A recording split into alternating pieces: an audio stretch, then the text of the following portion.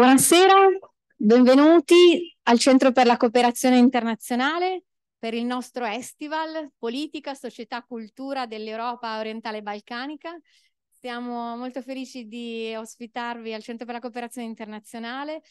Purtroppo sostituisco la collega direttrice generale Chiara Sighele che ha avuto un imprevisto e, e quindi non è potuta venire. Eh, ma sono molto felice invece di dare subito il benvenuto e la parola al sindaco mm, di Trento che è venuto ad ascoltare il nostro eh, evento, la nostra prima conversazione, poi mh, mm, dirò a mia volta due parole di introduzione per dare velocissimamente inizio invece alla tavola rotonda che, mh, mm, con cui iniziamo questa, questo tour de force. Ah, buon pomeriggio, grazie. Saluto tutti, un saluto particolare al mio amico Marco Boato. E, ehm, eh, io penso che l'importanza di eventi come questo, oltre che un'importanza in sé, ecco, eh, lo rivestono anche per la città di Trento e per il Trentino. Eh, tocco un punto che per alcuni di voi sarà veramente laterale, per altre persone credo che lo troveranno abbastanza centrale per quello che, che noi siamo. Voi sapete, vedo qui degli studenti, noi abbiamo a cuore la nostra autonomia. Beh, io credo che l'autonomia trentina si giustifica, tra le altre cose, se prova a avere una proiezione anche al di fuori di sé. Se l'autonomia è un eh, raccontarsi quello che si è, dirsi che amministriamo bene, ma non c'è una volontà di guardare quello che c'è fuori dai nostri confini, perdiamo molto del nostro senso, della profondità storica rispetto a quello che siamo, ma anche appunto di...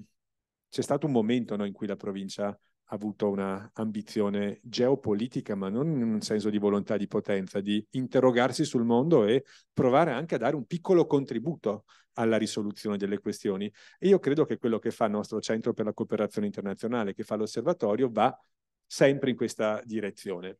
Io non sono un esperto di Balcani, di Europa dell'Est, eh, però mi è capitato in questi giorni di leggere l'introduzione a un libro che sta per uscire per Rubettino, la fa un mio amico, conoscente, si chiama Francesco Ronchi, lui lavora per, eh, in abito Unione Europea, e lui usa l'immagine di Saramago, la zattera di pietra, in quel romanzo i Pirenei eh, si staccano e, e, la penisola iberica va alla, alla deriva e lui la usa per, per, i Balcani dicendo è come se fossero un'isola, un qualcosa che si è staccato ed è scomparso dalle mappe, poi li vediamo riapparire, vediamo, lo, lo vediamo riapparire l'Est. Allora credo che ogni iniziativa che viene fatta, certo parlando dell'attualità, come nel caso della guerra e dell'aggressione russa all'Ucraina, ma anche di, di, quello che noi oggi conosciamo meno, che io oggi conosco meno, per, è un io che riguarda noi cittadini, sia molto, sia molto importante perché in definitiva stiamo parlando della dimensione della, della nostra Europa. Allora grazie davvero a tutti voi per aver pensato a questa iniziativa e come dico ci sono alcuni eventi a cui partecipo perché devo come sindaco, ma non c'è niente di male, altri a cui partecipo perché mi interessano tanto e questo è uno di quelli. Grazie.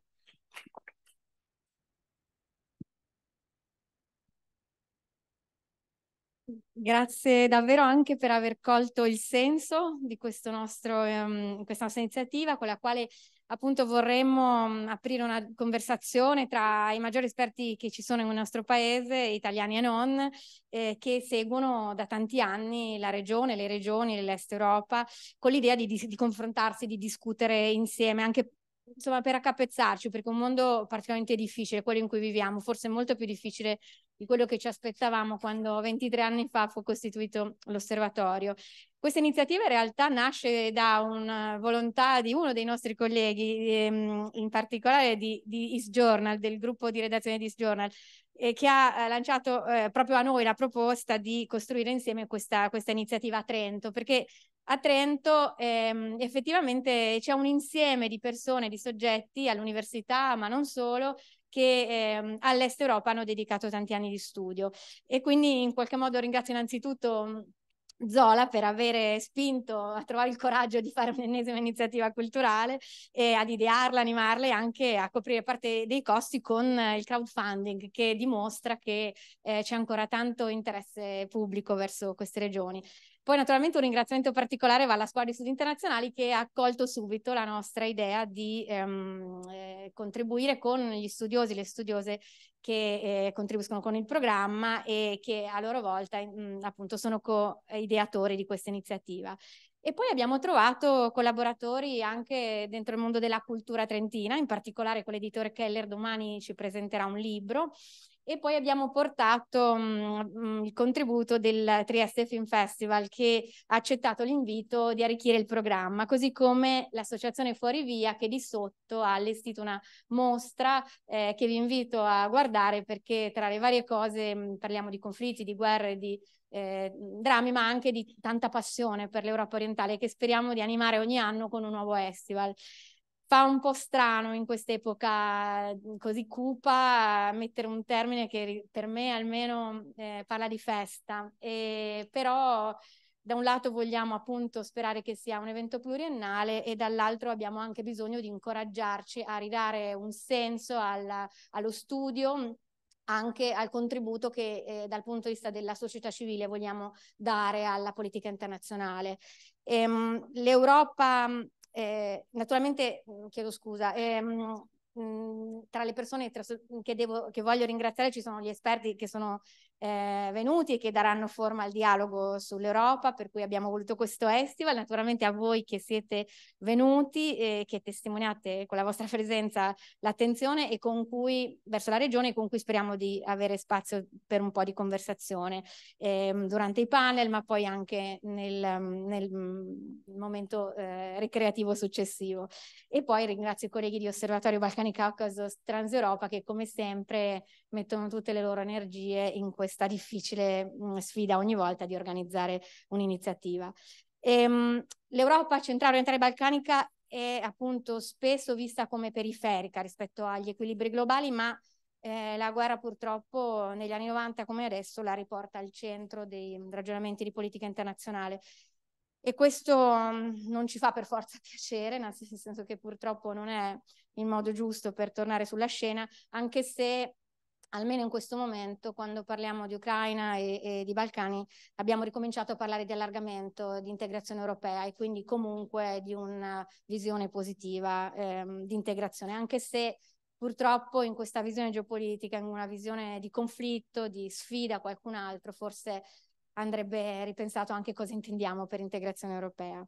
In ogni caso eh, vogliamo cercare di avere strumenti in questa conversazione con voi per, ehm, così, per affrontare questo scenario internazionale e insieme ai soggetti mh, che, che, sono promotori e soprattutto per dire che eh, noi ancora oggi eh, riteniamo come osservatorio ehm, che è importante da un lato dare un senso alla, della complessità delle cose, ma anche cercare di sbrogliare questa complessità e alimentare soprattutto un dibattito pubblico nell'opinione pubblica, una consapevolezza nell'opinione pubblica ehm, profonda, vera, non superficiale di quello che, che ci accade intorno e stimolare davvero eh, la nascita di relazioni tra, tra, soggetti, tra società civili dei paesi che seguiamo, perché questo resta per noi fondamentale se vogliamo in qualche modo dare un contributo a, alla pacificazione o alla pace nel mondo, una volta la chiamavamo così, forse ingenuamente, ma in generale alla pace.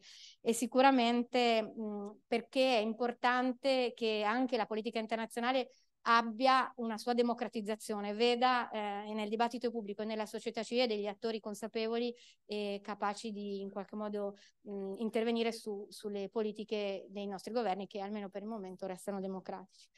Chiamo quindi eh, nostra, eh, sul nostro palco i primi eh, rappresentanti del primo panel eh, che mh, mm, parlerà appunto di guerra in Ucraina, origini dinamiche e prospettive e con loro il moderatore è il nostro Zola.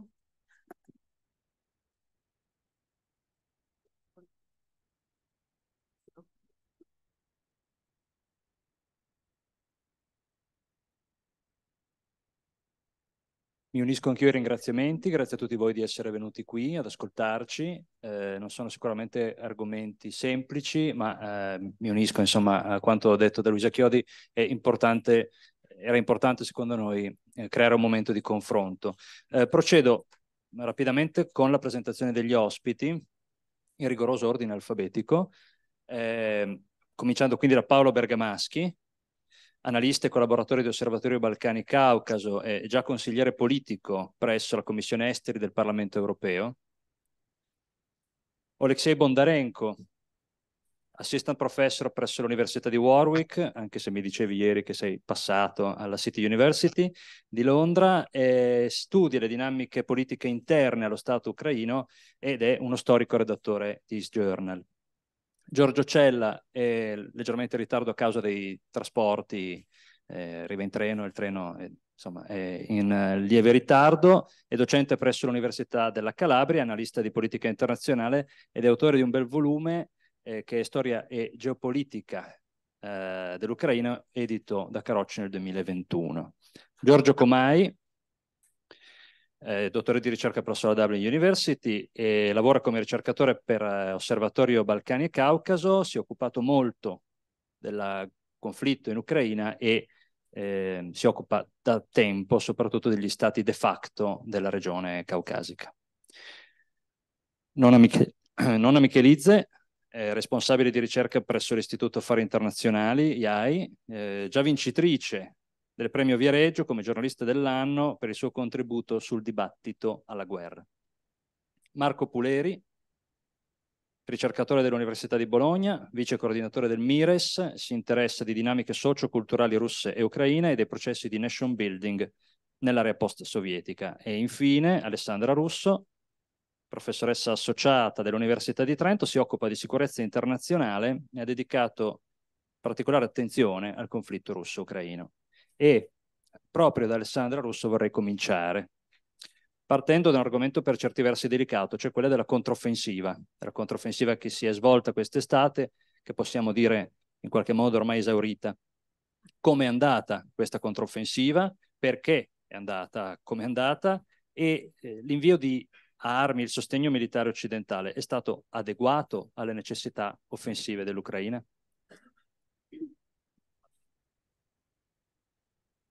Grazie Matteo, e buonasera a tutti e grazie agli organizzatori per aver coinvolto me e in modo più ampio la Scuola di Studi Internazionali dell'Università di Trento.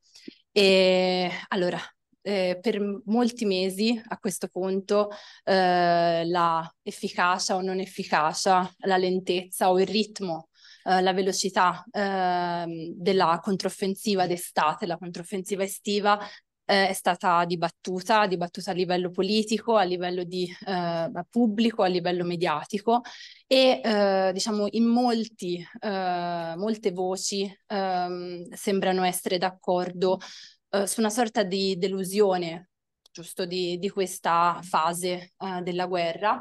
Eh, è stato detto molto eh, ed è stato detto molto eh, appunto sulla lentezza. in particolare alcuni analisti proprio di strategia militare quindi hanno cercato di calcolare l'efficacia della controffensiva d'estate eh, in termini di eh, equipaggiamento perduto nei momenti di attrito e anche proprio in termini di chilometri o metri eh, di avanzata delle, delle forze ucraine eh, al giorno. Questi calcoli sono stati eh, fatti soprattutto in relazione alle eh, precedenti fasi di... Ah, scusate alle precedenti fasi, eh, alle precedenti, eh, ai precedenti due momenti eh, di controffensiva che si erano avuti nei mesi precedenti e ehm, in relazione ai quali eh, sia eh, nell'estate precedente che in un periodo più lungo eh, del, del, 2022, eh, da agosto a novembre, ehm, erano stati eh, visti eh, dei ritmi più sostenuti, eh, addirittura si parlava in un caso eh, di più di 7 chilometri eh, al giorno, eh, in un altro caso di ehm, quasi 600 metri al giorno, ma comunque molti meno metri sono stati calcolati per quanto riguarda l'offensiva d'estate di questa ultima estate. Ehm, secondo sempre questi um, studiosi di strategia militare, eh, questo rallentamento, questa debolezza eh, tattica eh, rifletteva una, uh, un, un, calcolo sbagliato, diciamo, uh, una, uh, un condurre in modo debole eh, le operazioni sul terreno, è stato eh, identificato eh, come fattore determinante quello della ehm, moltiplicazione, di un'eccessiva moltiplicazione eh, dei fronti ed era stato suggerito la concentrazione eh, delle forze lungo una sola direttrice per appunto velocizzare, per dare un ritmo più sostenuto a questa eh, controffensiva. in realtà se andiamo a guardare, eh, diciamo, anche eh, a livello proprio tattico eh, e sul campo, eh, la situazione o comunque le variabili in gioco ehm, sono molteplici. Eh, innanzitutto eh, c'è la decisione eh, proprio delle, eh, della leadership militare, eh, strategico-militare eh, del paese, eh, di cercare di ridurre le perdite, sia perdite umane ma anche perdite in termini di sistemi d'arma, di equipaggiamento militare e quindi dei momenti di attrito. E quindi un cambiamento di conduzione strategica di questa controffensiva rispetto alle precedenti ehm, facendo anticipare momenti di avanzata eh, un tentativo di distruzione eh, dell'artiglieria nemica e quindi ovviamente questo cambiamento eh, di eh, strategico militare ha anche modificato il ritmo, la velocità eh, dell'avanzata andando poi a dare eh, questo, questa percezione di rallentamento per una per un calcolo errato, per una mh, conduzione eh, debole o comunque errata eh, delle, delle, operazioni. Um, è in questo uh, contesto che è andata poi maturando, maturando scusate, eh, in uno una sorta di rottura degli indugi eh, rispetto ehm, alla eh, offerta eh, di, ehm, di, questi aerei eh, da combattimento, eh, il famoso dibattito sugli, eh, sugli F-16.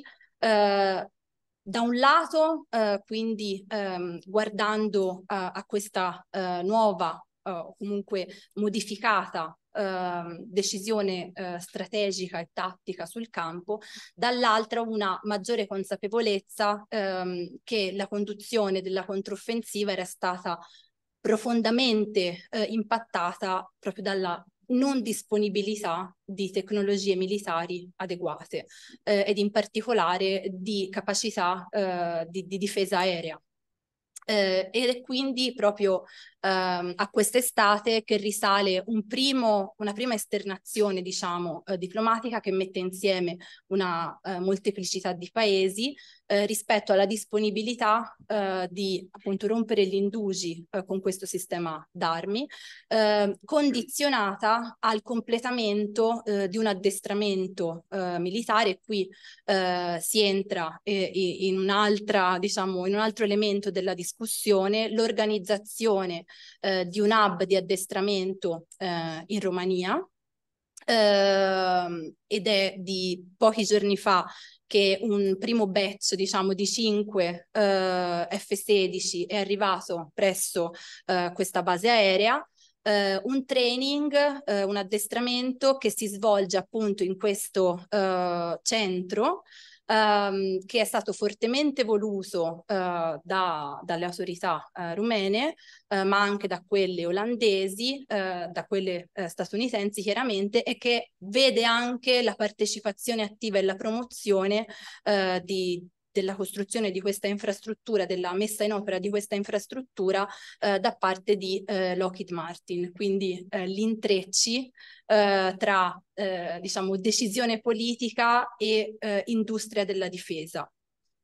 Eh, per passare poi alla uh, diciamo, seconda parte uh, della domanda uh, sull'adeguatezza della, diciamo, dell'aiuto militare, vorrei mh, mm, agganciarmi a dei dati. Eh, parlavo stamattina um, con un ricercatore eh, italiano eh, che eh, lavora eh, al Kiel Institute, che è un istituto di ricerca eh, che da circa due anni, eh, sta monitorando la, il, il, peso, l'entità, quantificando eh, quanto eh, si sta trasferendo in termini di aiuti militari, ma loro misurano anche gli aiuti finanziari ed umanitari eh, all'Ucraina. Eh, quando si parla di adeguatezza eh, degli aiuti militari, si entra di, in un certo senso in un ginepraio che non riguarda soltanto l'efficacia, ma anche la legittimità, la credibilità e quanto ehm, eh, questo tipo di aiuti ehm, venga accettato nel medio e nel lungo periodo a livello di opinione pubblica.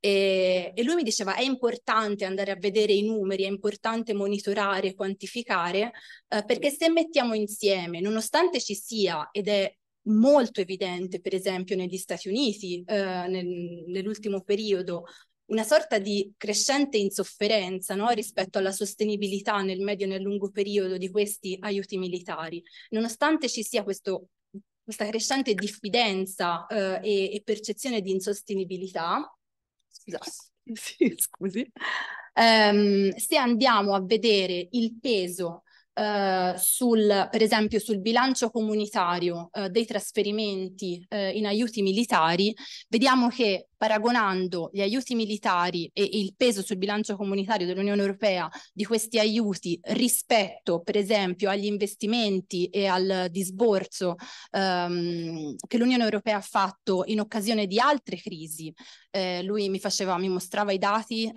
rispetto alla crisi pandemica, ma anche alla guerra del Golfo, beh, gli aiuti militari ehm, e i trasferimenti eh, di eh, aiuti militari, per esempio dall'Unione Europea nel contesto della guerra in Ucraina, sono mm, minoritari. Quindi quando si parla di adeguatezza, eh, soprattutto nel dibattito pubblico, dobbiamo anche eh, tenere conto eh, dell'evidenza empirica e è quello che eh, credo noi eh, analisti, studiosi cerchiamo, cerchiamo di fare. Grazie. Grazie. Magari io uso questo e voi vi passate il microfono. Se vedete, sposto. Spostare questo. È già acceso. Scusi.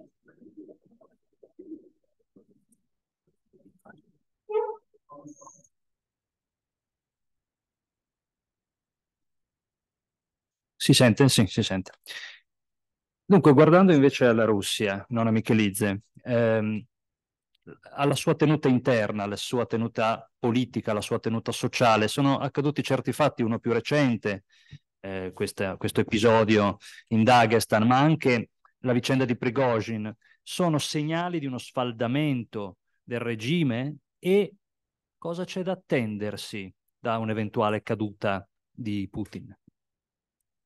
Allora, innanzitutto buonasera a tutti, grazie dell'invito, grazie per aver organizzato uh, questo evento anche in un momento dove appunto a causa di altri eventi drammatici uh, e quello che sta succedendo in Medio Oriente sembra che Ucraina insomma sta scomparendo dall'attenzione uh, pubblica. per rispondere alla domanda, io vorrei cominciare proprio dalla controffensiva che poi ci porterà a rispondere a questa domanda perché allora in realtà quello che sta succedendo in Ucraina con questa controffensiva che penso poi è stato molto ben descritto anche dal generale Zaluzhny uh, nella sua Uh, intervista, articolo, manifesto, quello che era uh, sulla, sull'Economist è che Uh, la guerra, siamo arrivati a una um, guerra di posizione che eh, ha uh, prospettiva trasformarsi in un stallo e quella prospettiva di un stallo ovviamente favorisce la Russia a lungo andare per il semplice fatto che a lungo andare l'Ucraina, Zaluzny dice in questo momento non c'è questo problema, ma in futuro lo avrò, c'ha il problema delle risorse mh, mm, umane. Uh, ora, uh, quando si parla controffensiva, soprattutto facendo analisi uh, comparativa con la controffensiva precedente che ha portato alla liberazione di Kharkiv e Kherson, ci sono delle differenze fondamentali. il fattore de delle mine e del territorio, enorme territorio minato Per, uh, Ucraina oggi è il paese più minato del, del, mondo e se la tecnologia di sminamento fe, fermassi allo sviluppo di oggi ci vorrebbero 300 anni per sminare il territorio. Uh, quindi questo ci fa, uh, insomma, spiega anche il perché eh, il ritmo di quella, quella controffensiva, ma soprattutto, mh, mm, secondo me, eh, ad oggi noi possiamo dire che la strategia occidentale, eh, e Alessandra proprio faceva riferimento alla quanto poco è stato spedito delle armi in realtà uh, all'Ucraina sia da parte degli Stati Uniti che da, da parte uh, dell'Europa. Non dimentichiamo che gli Stati Uniti ha mantenuto il veto su Atacams uh, fino a un mese, un mese fa uh, e ha, mangiato, ha, mandato in poche quantità mentre poteva tranquillamente fare questo 6-9 mesi, mesi prima, ma la strategia sappiamo degli Stati Uniti è cosiddetta escalation management col calcolo che da, cioè a che fare con un paese nucleare non vuoi causare un effetto shock sul campo di battaglia Italia perché non, non sai calcolare quale sarà la reazione dall'altra parte. Quindi eh, uh, con questa paura che eh, sorpassando le linee rosse, che poi abbiamo visto che sono un po' finte queste linee rosse che Mosca mette su vari tipi di armi, insomma si, si è stata adottata questa, uh, questa strategia di escalation management. Uh, anche, insomma, abbiamo visto due giorni fa il, la, dichiarazione del ministro della difesa tedesco sui sistemi come Taurus, per esempio, che dice che è scettico, non è sicuro che i sistemi come Taurus avranno uh, un impatto su, sul corso uh, della guerra.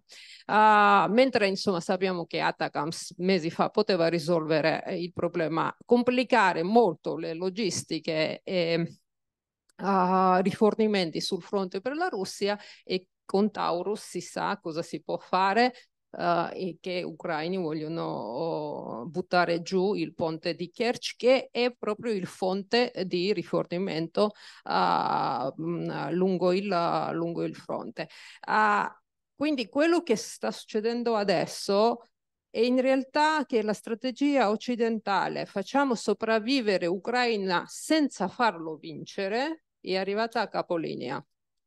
E quindi adesso o si ripensa a una strategia oppure uh, la mass media che si mette di nuovo a parlare del negoziato perché poi adesso quello che stiamo vedendo in, in realtà è da, questo in realtà da luglio in poi no? cioè la controffensiva è cominciata il 18 giugno e già dopo un mese eh, la mass media si è spazientata uh, e hanno cominciato già a parlare del negoziato e in realtà è una cosa che era già successo Uh, prima uh, della controffensiva Kharkiv e Kherson che è cominciata primo luglio, agosto già parlavano del, del negoziato, poi è arrivata 30 settembre liberazione di Kharkiv, poi seguita 6 novembre se non mi sbaglio uh, dalla liberazione di Kherson. Si sta ripetendo un po' la, la, situazione dove la mass media, la comunità degli esperti fissano loro le, eh, le scadenze uh, che poi non vengono rispettati e poi di nuovo parte questo ciclo uh, della, della, discussione sul negoziato. Allora il negoziato non ci sarà e non ci sarà per uh, vari motivi e arriverò a che uno dei motivi ha a che fare con la tua domanda. Il primo motivo è che quando una delle parti del conflitto percepisce la guerra come una guerra genocida, cioè una guerra dove la Russia cerca di, di eliminare lo Stato e di eliminare l'identità ucraina, è difficile per quella parte lì immaginarsi eh, di sedersi a tavolo e uh, negoziare con i russi. Io sono, sono stato in Kiev a settembre due volte ed erano due tipi di, di, viaggi, una era incontro con la società civile proprio dal basso sul, sulla, con la gente ordinaria, insomma, per capire come loro vivono la guerra e l'altro incontro era proprio incontri con i rappresentanti del governo che ti dà poi la possibilità di, di vedere nell'insieme, insomma, come vive il paese la guerra. E quindi lì la gente semplice, eh, loro tutti sono convinti che li vogliono uccidere tutti.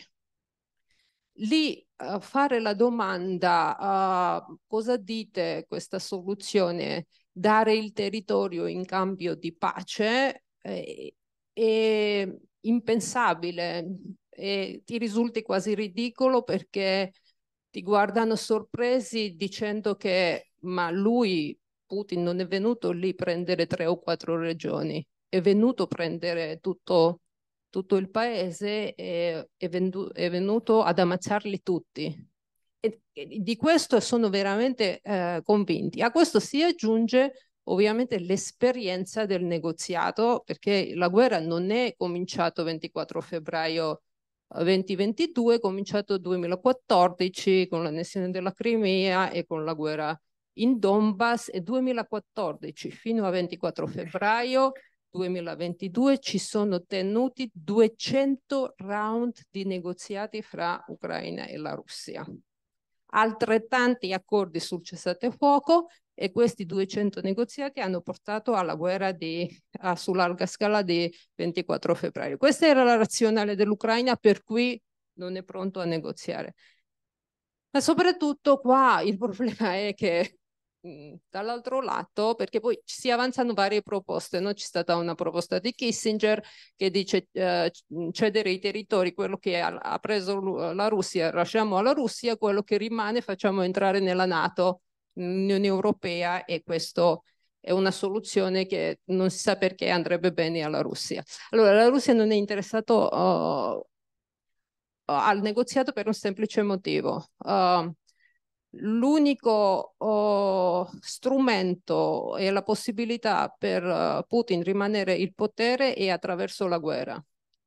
Uh, perché in realtà la necessità di guerra è già emersa in Russia nel 2019, quando è cominciata una tensione sociale, politica, economica dentro il paese, è cominciata con la riforma delle pensioni, è cominciata con la riforma della Costituzione, è cominciata con le elezioni in Russia amministrative uh, che eh, a Mosca hanno portato alle manifestazioni uh, la, che sono state poi dove sono stati arrestati 2000 uh, partecipanti delle manifestazioni e mandati in carcere. È cominciato uh, con uh, seguito a questi inventi era avvelenamento di Navalny il suo ritorno il suo mandare in carcere. A questo sono seguiti rafforzamenti sulle leggi sulla restrizione delle uh, libertà umane come leggi sulle organizzazioni eh, non governative, dichiararle come organizzazioni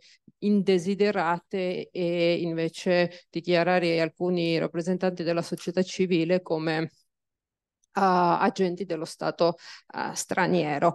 Uh, dopo succede il Covid con Uh, i morti della Russia ha avuto un numero dei morti un uno degli elevati insomma a livello mondiale ovviamente con tutte le conseguenze economiche e sociali ed è proprio in quel momento che luglio 2021 uh, Putin pubblica il suo famoso articolo sulla unità nazionale di Ucraina e la Russia che uh, rende chiaro che la guerra è inevitabile e la guerra uh, c'è la necessità della guerra uh, per uh, mantenere il, pro, il, potere perché in qualche modo il contratto fra lo Stato e la società russa si esaurisce. e comincia, comincia, la guerra. Adesso per finire, finire la guerra, Putin significherebbe di eh, avere a che fare non solo con i problemi preesistenti della guerra, quindi per 24 febbraio, ma in più a avere a che fare con i problemi che derivano naturalmente da questa guerra, che sono tutti i morti, che sono uh, i problemi economici, sociali, politici, eccetera. Quindi uh, l'obiettivo di Putin a questo punto è innanzitutto far trascinare questa guerra sicuramente alle elezioni americane perché punta tutto sul ritorno uh, del Trump, Trump, e fare poi eventualmente l'accordo di Trump, ma, ma mantenerlo proprio anche all'intensità mm, basso pur non uh, finire, finire la guerra. Quindi questo quanto è il negoziato. Adesso eh, quello che è successo a Dagestan uh, è stato, io l'ho chiamato anche un momento Prigozhin, uh, perché ovviamente aveva du, du, due dimensioni, no? uno uh, questo sentimento antisemita e poi appunto la questione che riguarda proprio uh, gli affari interni della Russia, perché in realtà antisemitismo in Caucaso non era mai presente, perché in Caucaso del Nord mh, mm, storicamente non è che ci sono stati tanti ebrei verso quali potevano manifestare ai caucasici del nord antisemitismo, che è molto eh, caratteristico in realtà per tutta la storia russa, no? Mm, storia zarista dell'Unione Sovietica um, uh, e in altri, insomma, i pogrom antisemite in Russia uh, la storia ne conosce. Uh, però in realtà quello che succede um, Uh, in Dagestan manda un messaggio a tutti perché poi in Russia tutti credono che uh, la situazione interna è quella che per un post sbagliato su Facebook o su qualsiasi social becchi il carcere e ti arrestano e poi esce fuori eh, che 300 mm, persone possono prendere d'assalto aeroporto internazionale di Makhachkala eh, e fare quello che, quello che, hanno fatto contro anche forze, forze dell'ordine. Quindi ovviamente questa cosa ha implicazione uh, per, uh, per, la tenuta di, uh, di regime, così come ha avuto implicazione quello che è successo con mh, mm, tentato coup militare di, di Prigozhin, no? che fa, ha fatto crollare il mito uh, dell'essere forte, il sistema politico uh, russo, di essere un mito che nessuno poteva sfidare uh, il sistema e Sfortunatamente per alcuni ha rafforzato i miti, eh, insomma, che oddio, quando se ne va Putin allora ci sarà un caos, perché poi non si sa perché l'Occidente mh, è in qualche modo anche penso da arroganti pensare che eh, possiamo mai avere l'influenza o prevenire o gestire il caos che potrebbe crearsi in, in Russia in futuro. Grazie. Dunque, ehm, a me adesso piacerebbe approfondire un attimo la questione, naturalmente sentitevi liberi insomma, di intervenire come preferite, ma dei rapporti tra Russia e Ucraina e tra i rapporti tra russi e ucraini, sia tra, eh, all'interno dell'Ucraina che all'esterno. E quindi volevo chiedere a Giorgio Cella, eh, la retorica del Cremlino ha insistito molto sul concetto di fratellanza tra i popoli russo, bielorusso, ucraino, però questa fratellanza, insomma, sembra che alla fine questi popoli, bielorusso e ucraino, siano dei fratelli minori che vadano in qualche modo ricondotti alla madre Russia e, e, ehm, e addirittura Putin ha eh, chiaramente detto che l'Ucraina non può esistere eh, se non nella Russia. Allora, questa fratellanza esisteva, è esistita e se è esistita, quando e perché si è rotta? Grazie Matteo innanzitutto per l'invito. Eh, sì, allora una, un certo tipo di vicinanza etnico-culturale ovviamente è esistita e esiste tra gli slavi orientali, come sono eh, tecnicamente definibili, no? dal tempo della Rus di Kiev a oggi. Eh, certo che eh, ci sono state delle fratture nel corso della storia ucraina e nel corso della storia dei rapporti bilaterali tra Russia e Ucraina eh, difficilmente rimarginabili, ma anche prima del 2022. Noi pensiamo solo all'Olodomor, ad esempio, nel 1900, cioè uno dei genocidi più ehm, definiti quantomeno de, dagli ucraini e da gran parte della comunità internazionale come un genocidio, eh, per non parlare poi delle purghe di Stalin, eccetera, del eh, dominio russo nell'Ottocento, insomma potremmo ripercorrere eh, tutto un corso di storia dell'Europa orientale. Ehm, oggi eh, c'è ancora questa percezione da parte dei russi che persiste nel vedere gli ucraini e i bielorussi come un tipo di etnia e statualità non totalmente eh, legittimate dalla storia. E qui c'è un primo punto che eh, va eh, ripreso, cioè la concezione che noi eh, occidentali abbiamo di confini è quella che hanno i russi.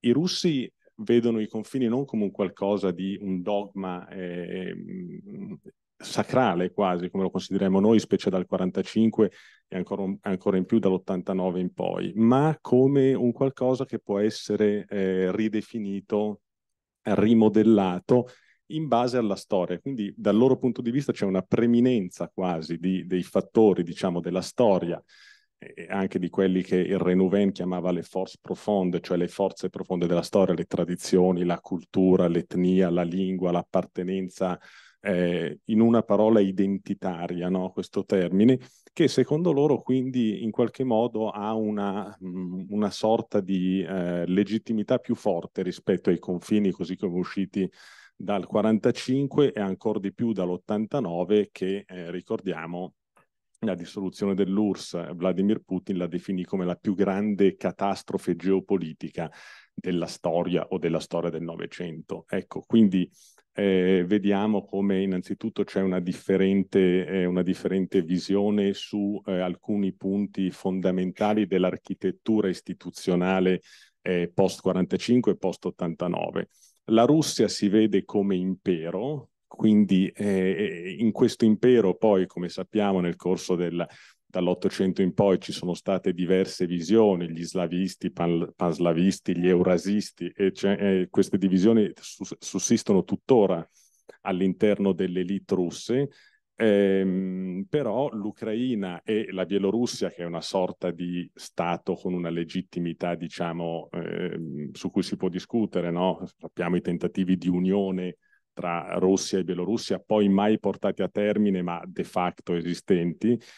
E quindi sia l'Ucraina che la Russia sono ancora un po' visti in qualche modo, beh, questo Putin poi l'ha anche scritto in un articolo che avremmo tutti dovuto eh, vedere con più eh, attenzione nell'estate del 2021, pochi mesi prima del fatidico 22 febbraio 2022, in cui spiegava eh, come l'Ucraina fosse parte di un tutt'uno russo, di questo Ruski Mir, stesse, stesse teorie anche portate avanti in maniera diversa anche da Solzhenitsyn, quindi da figure un po' più, diciamo, eh, così super partes, se vogliamo, o eh, storiche letterarie.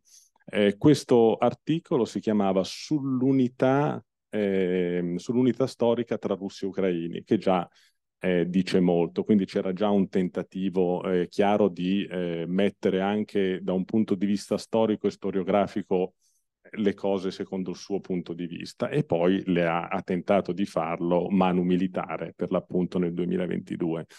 Non c'è riuscito, perché prima Nona diceva giustamente che l'intento iniziale della Russia è stato quello di conquistare interamente l'Ucraina, poi perché l'Occidente ha assistito eh, l'Ucraina, questo non è, è riuscito a livello proprio tecnico, altrimenti senza l'Occidente, quello che no, la Russia chiama Collektivny Zapad, l'Occidente collettivo, e l'Ucraina probabilmente sarebbe già ritornata sotto un qualche tipo di dominio non voluto, ovviamente, eh, russo.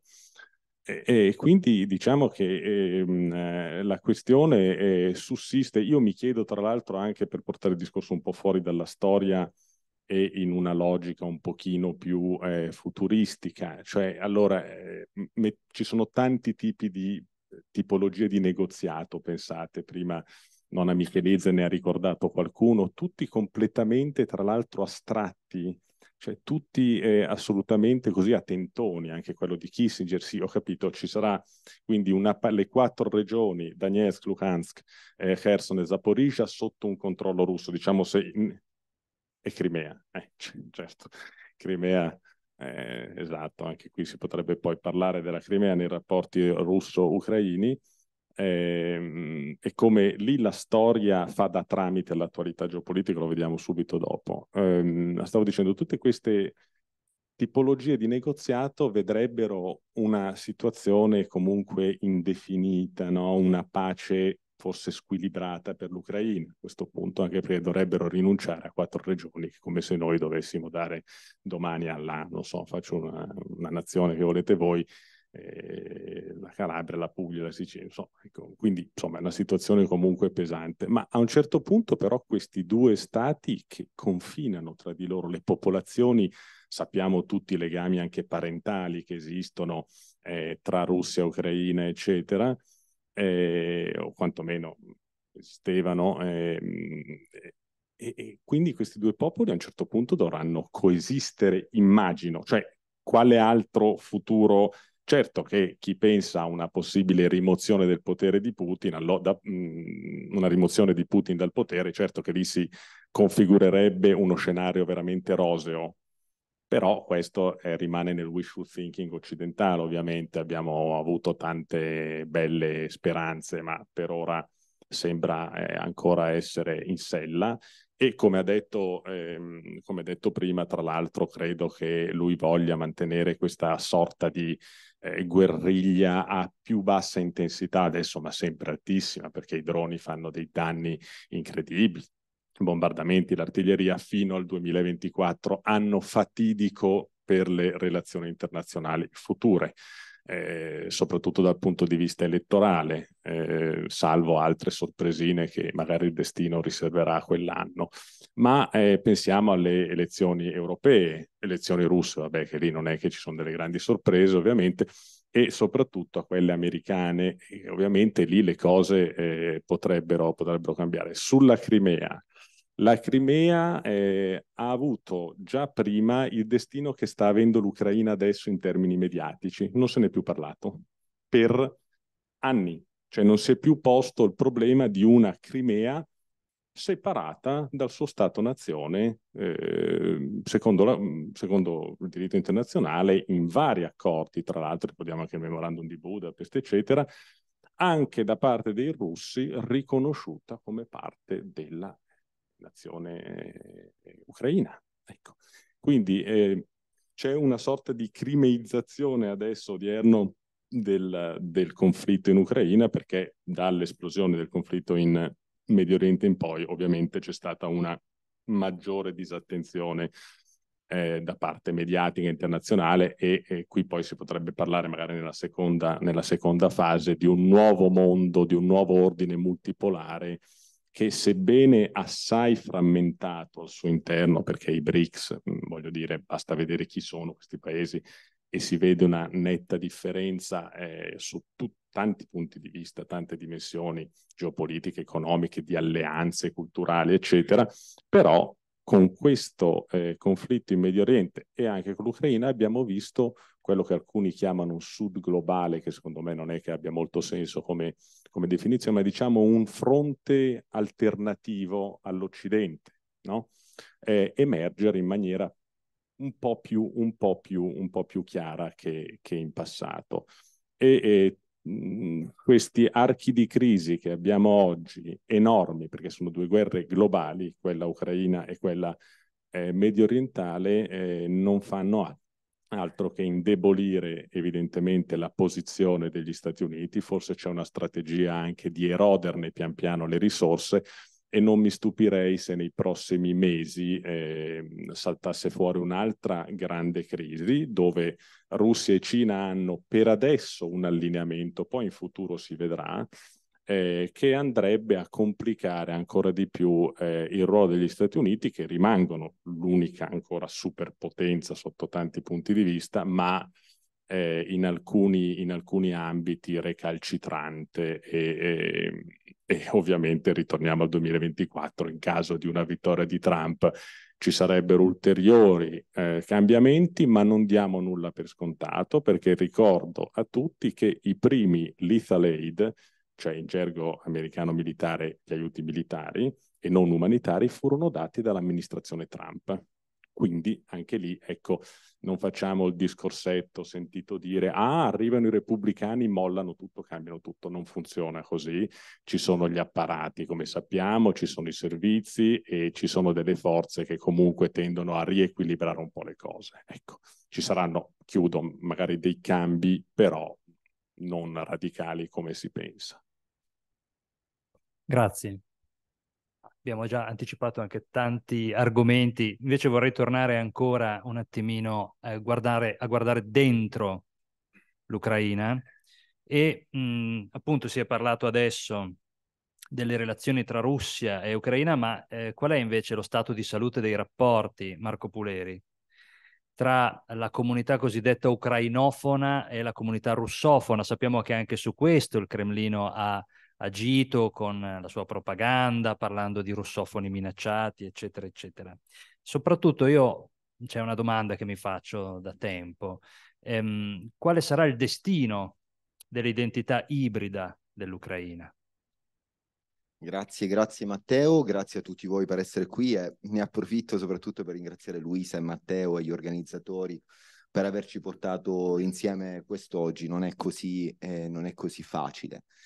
E, ehm, e, ne approfitto anche per ringraziare entrambi per dare spazio e voce anche ai tanti studenti, giovani ricercatori che poi trovano in queste piattaforme la possibilità di esprimersi, di trovare eh, anche modo per dar voce alle loro ricerche. Credo che questo sia molto eh, importante anche perché la realtà forlivese da cui provengo, che è un po' così smarrita eh, nel, nel, mare della Romagna, un po' ci, ci accomuna in tanti per esperienze vissute anche nel passato e credo che sia importante. Per eh, rispondere eh, alla tua domanda, eh, credo che sia importante anzitutto decostruire la nostra idea di minoranza russofona. Eh, minoranza russofona o comunità russofona d'Ucraina è un termine che ci siamo un po' abituati ad utilizzare o ad ascoltare per via di una concettualizzazione che ne è stata fatta dalle istituzioni russe ed ucraine nel corso degli ultimi 30 anni. Ma di base la domanda che ci dovremmo porre, ancora prima di rispondere al futuro eh, di eh, queste persone all'interno del, eh, del eh, futuro dell'Ucraina stessa, è esiste o meno una comunità russofona d'Ucraina? Ovvero esiste una comunità eh, fatta di eh, una comunanza, potremmo dire, di pratiche linguistiche, di eh, provenienza etnica, che si riconosce in un orientamento politico chiaro e definito. Guardando dall'interno all'Ucraina, io ho avuto modo eh, di eh, vivere e di fare ricerca eh, in Ucraina nel corso degli ultimi 10-15 anni, io direi di no. Direi di no innanzitutto per varie ragioni. Innanzitutto perché potremmo chiederci eh, chi parla ucraino, chi parla russo in, ucraino, in Ucraina oggi. E se guardiamo al, alla diversità etnica e linguistica eh, in Ucraina, possiamo già vedere come il binomio russo-ucraino non eh, sia eh, l'unico presente all'interno del paese. Quando parliamo di Ucraina parliamo di decine di minoranze etniche che vivono all'interno del paese e molte di queste minoranze etniche usano il russo come lingua franca, ovvero non sono soltanto gli ucraini e i russi ad utilizzare la lingua russa, ma sono anche moldavi, bulgari, eh, ungheresi ad utilizzare il russo come lingua di eh, veicolare nella loro comunicazione con gli altri gruppi etnici. Quindi questo è un primo passaggio che secondo me è molto importante per capire come la coesione interna di una comunità russofona di base è più un costrutto delle istituzioni politiche, culturali e sociali di Ucraina e Russia, eh, più che essere una realtà oggettiva. Eh, questo è un dato che forse per noi italiani e soprattutto per eh, chi ha avuto modo di eh, leggere i volumi pubblicati dall'editore Keller eh, diventa quasi ancora più eh, evidente eh, da quella che è la produzione letteraria e culturale in Ucraina. Keller ha tradotto e pubblicato i libri di Andrei Kurkov, uno dei maggiori autori ucraini noti ad Occidente, riconosciuto come autore ucraino di lingua russa prima in Occidente, ancora prima che in Ucraina. Io ho avuto modo di incontrare Kurkov tra il 2010 e il 2013. In quegli anni l'identità di Kurkov come autore ucraino era oggetto di contestazione all'interno del paese proprio per il fatto che questo autore scrivesse in russo. Ecco, nella quarta di copertina della traduzione edita da Keller è stata la prima volta che ho potuto leggere di Kurkov come di un autore ucraino di lingua russa. Appunto, quest'idea di una separazione tra pratiche linguistiche e identità civica. E tutti questi fenomeni ci portano quindi a pensare al futuro della lingua e della cultura russa in Ucraina in relazione al modo in cui le istituzioni culturali e politiche si porranno di fronte a questa questione. E questo problema è molto importante per il futuro dell'Ucraina per varie ragioni. Se guardiamo all'esperienza dell'Ucraina nel corso degli ultimi trent'anni, possiamo rispondere anche ad una delle grandi domande sorte nei primi mesi successivi all'invasione del 2022. Si è parlato di cancel culture in relazione al eh, boicottaggio della lingua e della cultura russa in Ucraina all'indomani dell'invasione russa. E ecco il confine in Ucraina tra quella che potremmo di, mh, definire come la difesa del eh, contesto culturale del paese e eh, la eh, censura di tutto quello che viene prodotto e pubblicato in, in lingua russa è molto labile. Se pensiamo che all'indomani del crollo dell'Unione Sovietica l'80% della produzione editoriale e dei media in Ucraina erano in lingua russa. Questo significa che avevamo una lingua ufficiale, ovvero l'ucraino, che di base era una lingua di minoranza, ovvero un, era una lingua utilizzata nel mainstream eh, soltanto da eh, ristrette cerchie di intellettuali all'interno dell'università, ma di base le pratiche linguistiche e il mondo culturale era costruito in lingua russa, ma era costruito in lingua russa tramite quello che potremmo definire un import di una produzione culturale che era prodotta nella Federazione russa e ritornava in Ucraina e proprio tramite dei canali di protezione del sistema culturale nazionale che non erano tali da difendere quella che era la eh, posizione del contesto culturale ucraino. Questo ha portato nel corso degli anni e nel corso dell'intensificarsi e della eh, polarizzazione delle relazioni tra istituzioni politiche ucraine e russe, la Russia stessa a sfruttare questa situazione. Non è un caso che tra il, all'indomani del 2004 e del 2005, della rivoluzione arancione, in Ucraina abbiamo assistito al proliferare di pubblicazioni che proiettavano un futuro in cui sarebbe avvenuta un'ipotetica guerra, terza guerra mondiale, in cui l'Ucraina sarebbe stata eh, sarebbe diventata terra di nazisti e sarebbe stata liberata eh, dal, da, un da una fantomatica nuova Unione Sovietica. Eh, in, a Kharkiv, una delle maggiori città eh, dell'Ucraina eh, orientale, è nato nel corso dei, eh, degli anni 2000 una scuola di scrittori di romanzi e di storia alternativa, potremmo dire.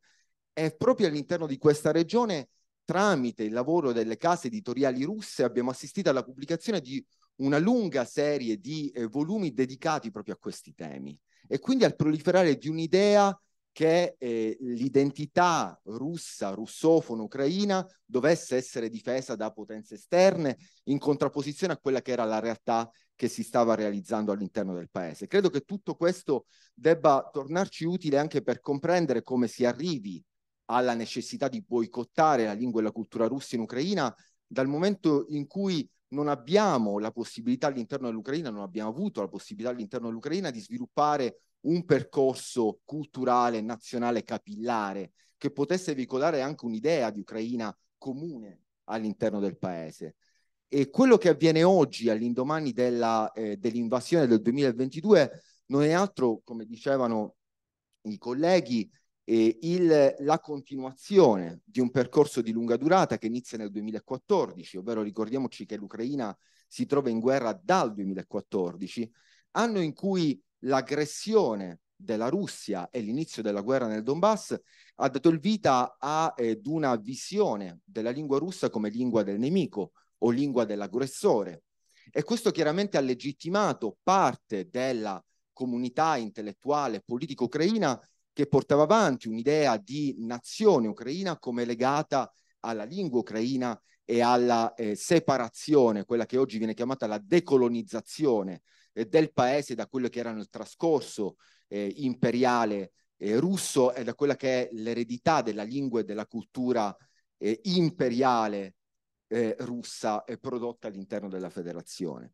E quindi quello, il problema che ci dobbiamo porre ad oggi è anche come le istituzioni all'indomani di quello che ci auguriamo essere la fine al più presto della guerra in Ucraina si porranno di fronte alla questione della lingua e della cultura russa. E questo è un problema che riguarda non soltanto l'Ucraina e la Russia, ma riguarda il più ampio eh, spazio eh, post-sovietico, potremmo dire, se pensiamo alle realtà del Kazakhstan o della, o della Lettonia, in cui le comunità eh, di lingua russa, sempre tra virgolette, sono le eh, maggiori all'interno, eh, all'interno del, dell'ex Unione Sovietica e che soprattutto diventa, diventa un problema nel momento in cui pensiamo che il destino del russo in Ucraina dipenderà anche da quello che sarà il destino del russo in Russia, ovvero se il russo resterà ancora ancorato e legato ad un'idea di potere imperiale o di, eh, potremmo dire, eh, potere alternativo a quelli che sono dei processi di trasformazione e transizione politica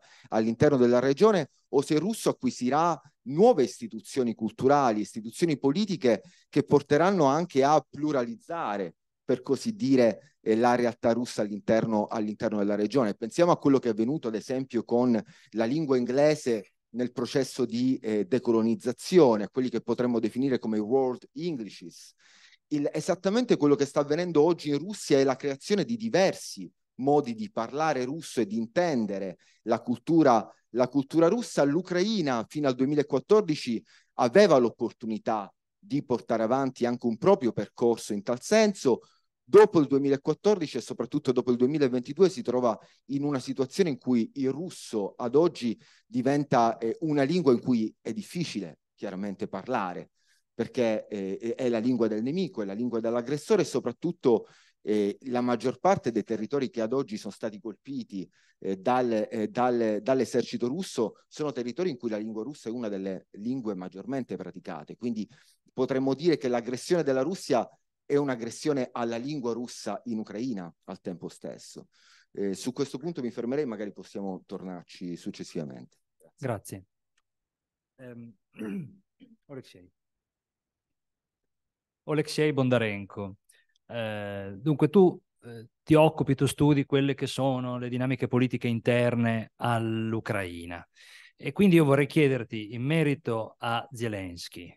Eh, ci sarebbero dovute essere le elezioni presidenziali nel 24, probabilmente verranno rinviate per causa di forza maggiore, però Zelensky è da più parti accusato di accentrare il potere, ci sono anche stati insomma, dei ricambi al vertice. Ecco, eh, cosa c'è eh, di vero in questa accusa e qual è il ruolo degli oligarchi adesso? Sì, grazie Matteo, grazie al pubblico per essere venuto e grazie per l'invito ovviamente e per aver organizzato questo, questo evento. Prima di addentrarci quest su questo tema di, noioso di politica interna, di oligarchi, vorrei un, una piccola aggiunta a quello che ha detto Marco perché è una, quella della comunità russa e, e, della definizione della comunità russa, io credo sia un punto importante, ehm, ma sarà anche importante in tutti quei processi che partiranno adesso in poi verso un'integrazione comunque verso il dialogo con l'Unione Europea. Perché eh, eh, se definiamo la eh, lingua e la comunità russa come comunità, eh, l'Unione Europea metterà certi ehm, paletti in senso di protezione delle minoranze, no? E eh, ci sarà una questione di discriminazione nei confronti della comunità russa. E, e questo è un, è un, è un, credo sia un dibattito eh, già avviato in Ucraina ed è un dibattito ehm, molto importante e ah, tra l'altro molto anche interessante, credo quello che, quello che ha detto, quindi grazie. E, ehm, per quanto riguarda le elezioni e la centralizzazione del potere, io personalmente slegherei eh, la questione delle elezioni eh, come sintomo di centralizzazione o comunque di usurpazione del potere, eh, perché è evidente che eh, uno stato di guerra ehm, sia dal punto di vista legale, perché la Costituzione ehm, ucraina non prevede eh, la possibilità di avere elezioni, eh, ci, ci, vorrebbe un, un, cambiamento della Costituzione, una, eh, che, che, è una pratica ovviamente molto complessa, ma anche dal punto di vista pratico Um, è effettivamente, credo, i, i, i infattibile. Eh, non tutti sono d'accordo uh, con questa visione, immagino, però ehm, pensiamo a che tipo di legittimità un nuovo presidente, se, anche supponendo che eh, sia lo stesso Zelensky, ehm, possa avere quando le elezioni si, si, si, si hanno eh, e si tengono su solo una parte del territorio, sotto eh, la, la, minaccia delle armi e, e così via. Quindi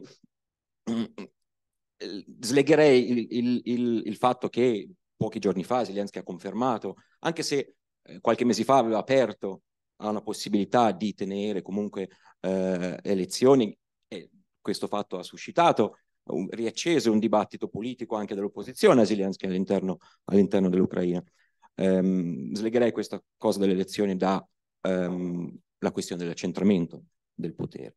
Um, per quanto riguarda uh, il sistema, io credo che uh, uh, ci sia un'evoluzione del sistema politico-economico ucraino, ma um, le fondamenta di questo sistema uh, rimangono ancorate a quello che è un, um, un sistema che potremmo definire neopatrimoniale, in cui eh, vi è una compenetrazione tra potere economico e potere politico, e in cui le istituzioni eh, formali che, che, che conosciamo, le elezioni, ehm, il sistema giuridico, i partiti, sono ehm, presenti, ma non sempre eh, il risultato del processo di queste istituzioni è definito dalle istituzioni stesse e quindi il ruolo di quello che chiamiamo mh, istituzioni informali, eh, rapporti intra- interpersonali tra membri dell'elite giocano un ruolo eh, importante.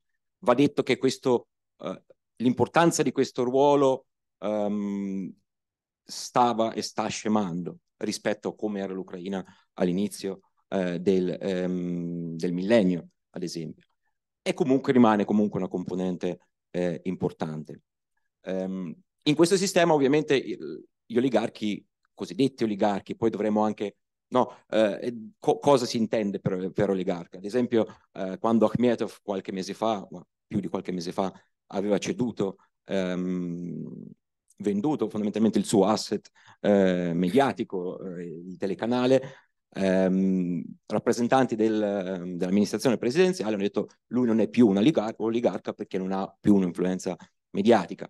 Quindi eh, anche adesso considerare Akhmetov come oligarca o no, io tenderei a dire sì, però ecco, dipende dalla, dalla definizione. Questa è stata tra l'altro la problematica di quella legge che Zelensky nel, eh, prima della guerra aveva in un certo senso promosso nel, uh, all'ordine del deoligarchizzazione, che lasciava la definizione dell'oligarca talmente vaga che eh, a finirci dentro, eh, vabbè, ovviamente non, non chiunque, eh, ma ehm, era molto, molto flessibile nel, in termini di definizione. Chi è oligarca e come no? ehm, definirlo. In questo sistema, comunque, in questo sistema che è legato a un sistema in un modo o nell'altro eh, neopatrimoniale, eh, dove i rapporti interpersonali sono importanti, dove c'è una compenetrazione tra il potere politico e economico, ehm, gli oligarchi giocano comunque e hanno giocato un ruolo importante. Um, il ruolo degli oligarchi però, paradossalmente, eh, se vogliamo, ehm, ha anche contribuito a un certo pluralismo che non sempre combacia con la con con il consolidamento delle istituzioni democratiche, ma è un certo, un certo tipo di pluralismo, quindi impedendo la concentrazione di potere nelle mani di un solo uh, gruppo di potere. E Yanukovych era eh, l'esempio più, più, eclatante, ma se pensiamo che i, i, presidenti ucraini e quindi i gruppi di potere che sostengono i presidenti ucraini sono cambiati a ogni elezione, no? praticamente, a parte, a parte. Ehm, quindi sono uno strumento anche di un certo tipo di, di, di pluralismo. Uh, d'altro canto, eh, ed è un tema che in parte abbiamo toccato eh, e in parte non, non, non, potrò affrontarlo ovviamente io, um, questa competizione tra vari centri di potere con un, anche un forte radicamento territoriale, che a differenza ad esempio del sistema oligarchico russo, no? e quindi si parla di clan di Donetsk, anche se anche lì è una semplificazione probabilmente, però um, clan di Donetsk, clan di Dnipropetrovsk, Dnipro ehm, e così via.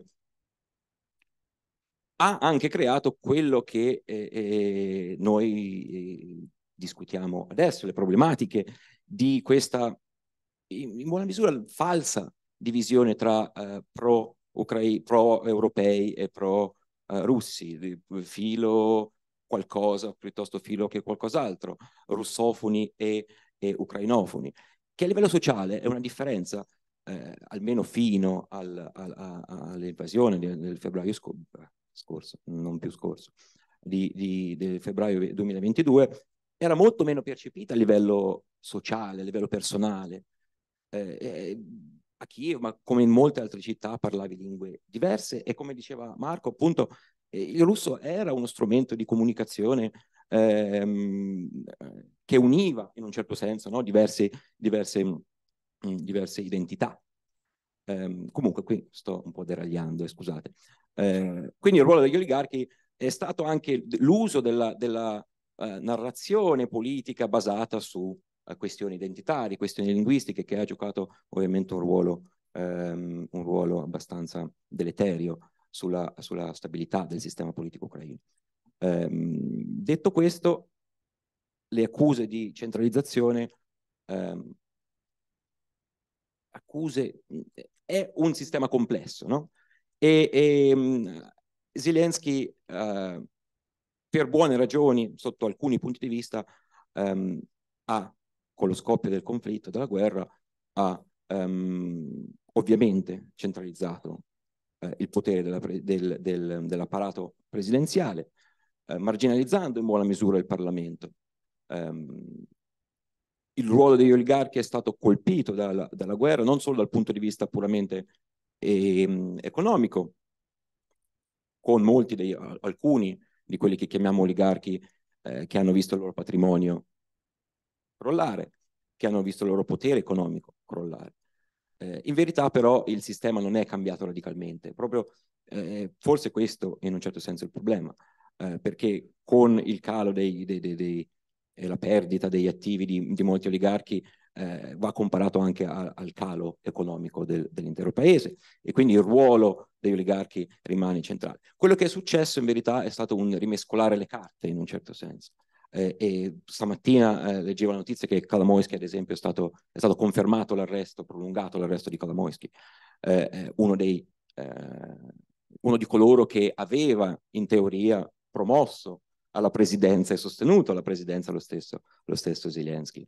Eh, Akhmetov, eh, d'altro canto, colui che aveva avuto un ruolo um, piuttosto, piuttosto, ambiguo, eh, per, definirlo, eh, per, definirlo, in maniera gentile, nel, 20, nel 2014, quando eh, ha giocato su due tavoli, un po' con i separatisti e, un po' con, con, con il potere in Ucraina eh, ha invece dall'inizio della guerra si è, ha cercato di ricostituirsi come patriota, ha denunciato l'aggressione russa, l'ha chiamata come un genocidio, come genocidio e ha ceduto volontariamente il suo, il suo o almeno parte del suo impero eh, mediatico. Um, e, è tra l'altro, secondo uh, alcune stime, il maggiore donatore per il sostegno del, del militare e così via uh, all'economia ucraina.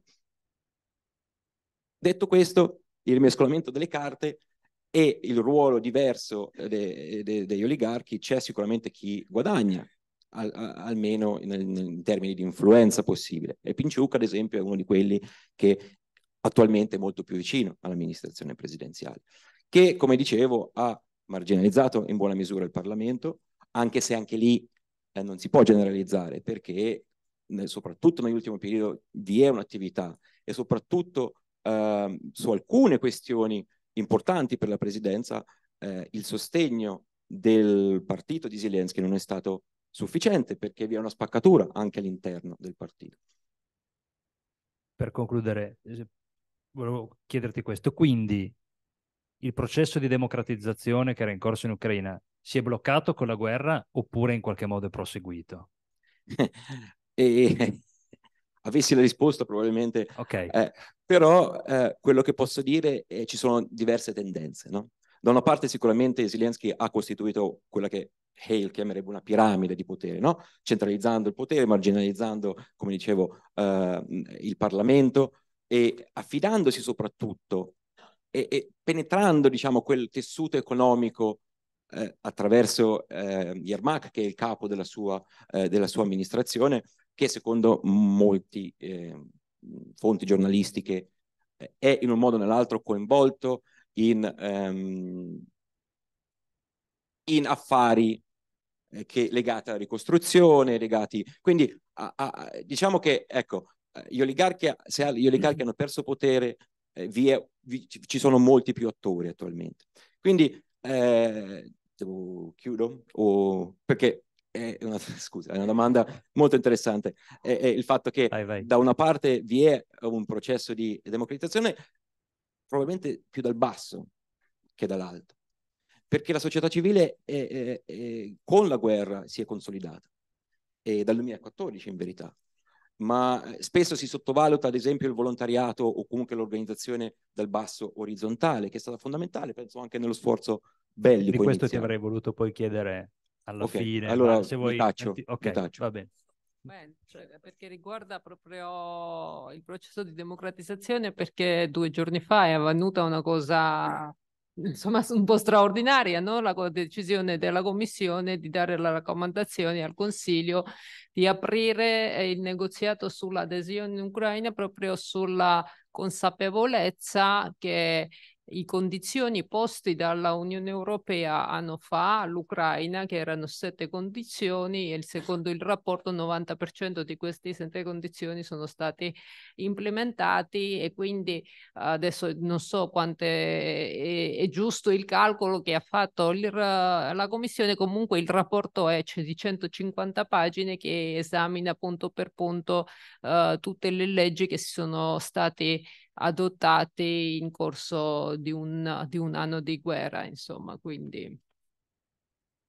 Allora modifichiamo l'ordine insomma, previsto e chiedo subito a Paolo Bergamaschi, se mi fai la cortesia di passargli il microfono, eh, qual è eh, lo stato dell'arte. Insomma, domanda a bruciapelo, l'Ucraina entrerà mai nell'Unione Europea e eh, quali sono i tempi di questa eventuale adesione? Insomma, se puoi farci il punto della situazione.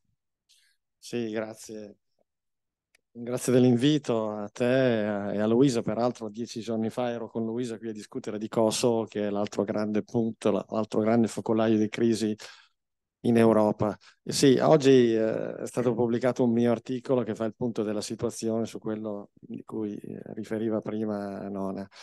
E sì, ho seguito da tanto tempo il processo d'allargamento. Il processo d'allargamento eh, non c'è niente di più complicato, irto d'ostacoli, complesso e soprattutto con tante cose scritte fra le linee che non vengono dette apertamente all'inizio e, e, facevo il caso della Macedonia. Macedonia del Nord è emblematico. La Macedonia del Nord presenta domanda d'adesione nel 2004, nel 2005 ottiene lo status di paese candidato, passano 15 anni prima che alla Macedonia venga ha concessa la possibilità di aprire i negoziati e nel frattempo dopo la Grecia si intromette la Francia perché chiede la riforma della metodologia d'allargamento, dopo la Francia c'è la, c'è la Bulgaria che si intromette che dice no non può andare avanti perché la Macedonia deve piegare il capo, riconoscere che parte della storia, almeno come la raccontano loro, è diversa ma questa è storia bulgara che, della quale loro si sono appropriati come in precedenza si erano appropriati secondo i greci del con un furto di identità uh, storica della Grecia,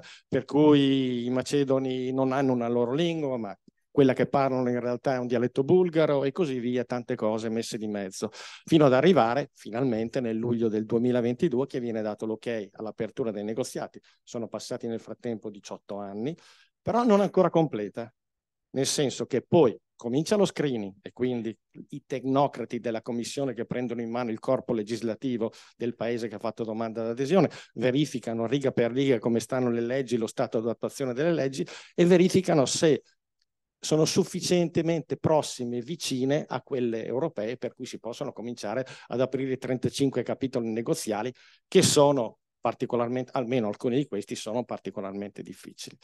Bene, eh, la Macedonia, prima di poter aprire i negoziati, che formalmente sono stati aperti con una conferenza intergovernativa nel luglio dello scorso anno, comunque dovrà procedere ad una riforma profonda della Costituzione per fare sì che la minoranza bulgara ottenga uno status all'interno, un riconoscimento all'interno della della Costituzione macedone, quando i bulgari non riconoscono al loro interno e rifiutano di riconoscere al loro interno la presenza di una, minoranza macedone. Quindi una situazione estremamente complicata.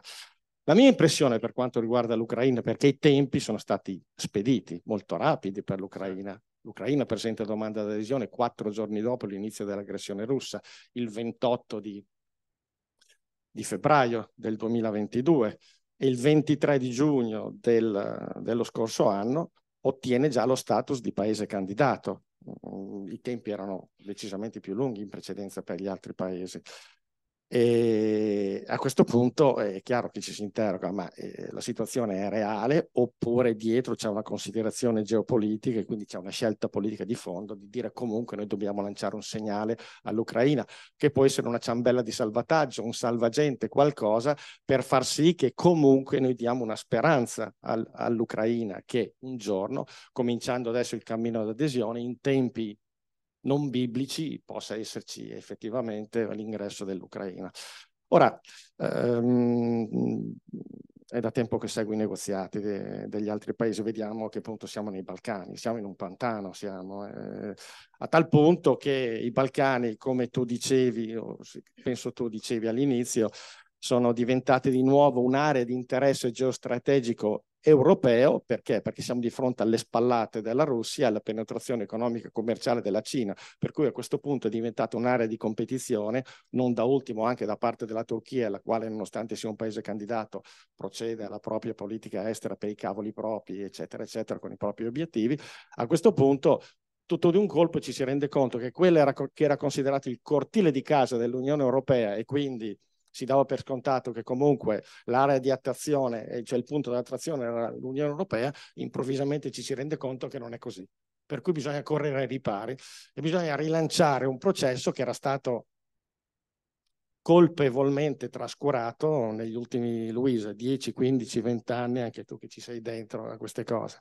Ecco, eh, io non sono particolarmente ottimista sull'Ucraina, era giusto lanciare il segnale, era giusto lanciare il segnale, però rendiamoci conto che questo cammino sarà estremamente spinoso e pieno di imboscate, una dietro l'altra, a cominciare dagli autotrasportatori polacchi che oggi bloccano il confine, bloccano il confine, la frontiera con l'Ucraina accusando i colleghi ucraini di concorrenza sleale. E gli ucraini dicono ai polacchi, sì, però ricordiamoci che all'interno dell'Unione Europea quelli che hanno scombinato il mercato dei camionisti e quindi degli spedizionieri siete stati voi polacchi che avete co fatto corollare i, i prezzi muovendomi muovendovi su tutto l'arco, su tutto lo spazio europeo, per cui è un po' ridicolo che voi oggi accusaste, accusiate noi di quello che voi, di, delle pratiche che voi avete condotto fino al giorno d'oggi. Ecco, quindi sono situazioni particolari e poi dietro all'angolo sappiamo che il Consiglio europeo del 15 dicembre prossimo dovrebbe confermare quella che è l'opinione della Commissione,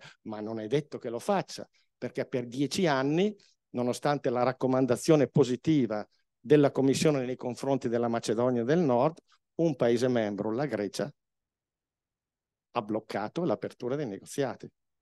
Quindi ha esercitato il diritto di veto, perché nell'ambito della politica estera e di sicurezza comune ricordiamoci che funziona ancora col diritto di veto, il che la dice lunga su quanto sia difficile produrre una politica estera di sicurezza comune a livello europeo che sia tempestiva e coerente ed efficace.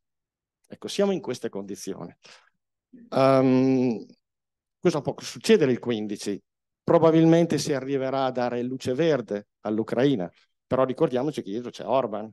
Tu parlavi delle questioni linguistiche prima, Marco, eh, ricordiamoci che c'è Orban dietro. Eh. E Orban sta conducendo. Dal punto di vista dei trattati non è possibile per un paese membro contraddire la politica estera adottata dal Consiglio Affari Esteri. Di fatto, eh, di fatto l'Ungheria lo sta facendo, di fatto l'Ungheria lo sta facendo. Eh. Quindi sta creando grosse difficoltà all'Unione Europea. Orban era presente al vertice della, della nuova via della seta a Pechino meno di un mese fa, era là a parlare con Putin. Sciarto, il ministro degli esteri ungherese, è andato non solo a Mosca, ma è andato anche a Minsk addirittura. Quindi, e quindi sono situazioni paradossali, particolari di cui dobbiamo tenere conto. Allora, tu parli con gli ungheresi, almeno con l'opposizione ungherese, ti dicono apertamente sì, Orban, Orban non ha mai abbandonato le ambizioni pan-ungheresi, non le ha mai abbandonate, anzi le ha rivendicate in più occasioni. Per cui è chiaro che ess essendoci una minoranza ungherese nella Zakarpatia, a Uzhgorod, eccetera, anche se è piccola perché si parla di 120-130 mila persone, quindi un nucleo molto limitato, che però sono aizzati da Budapest e quindi possono rivestire un ruolo destabilizzante per la stessa Ucraina.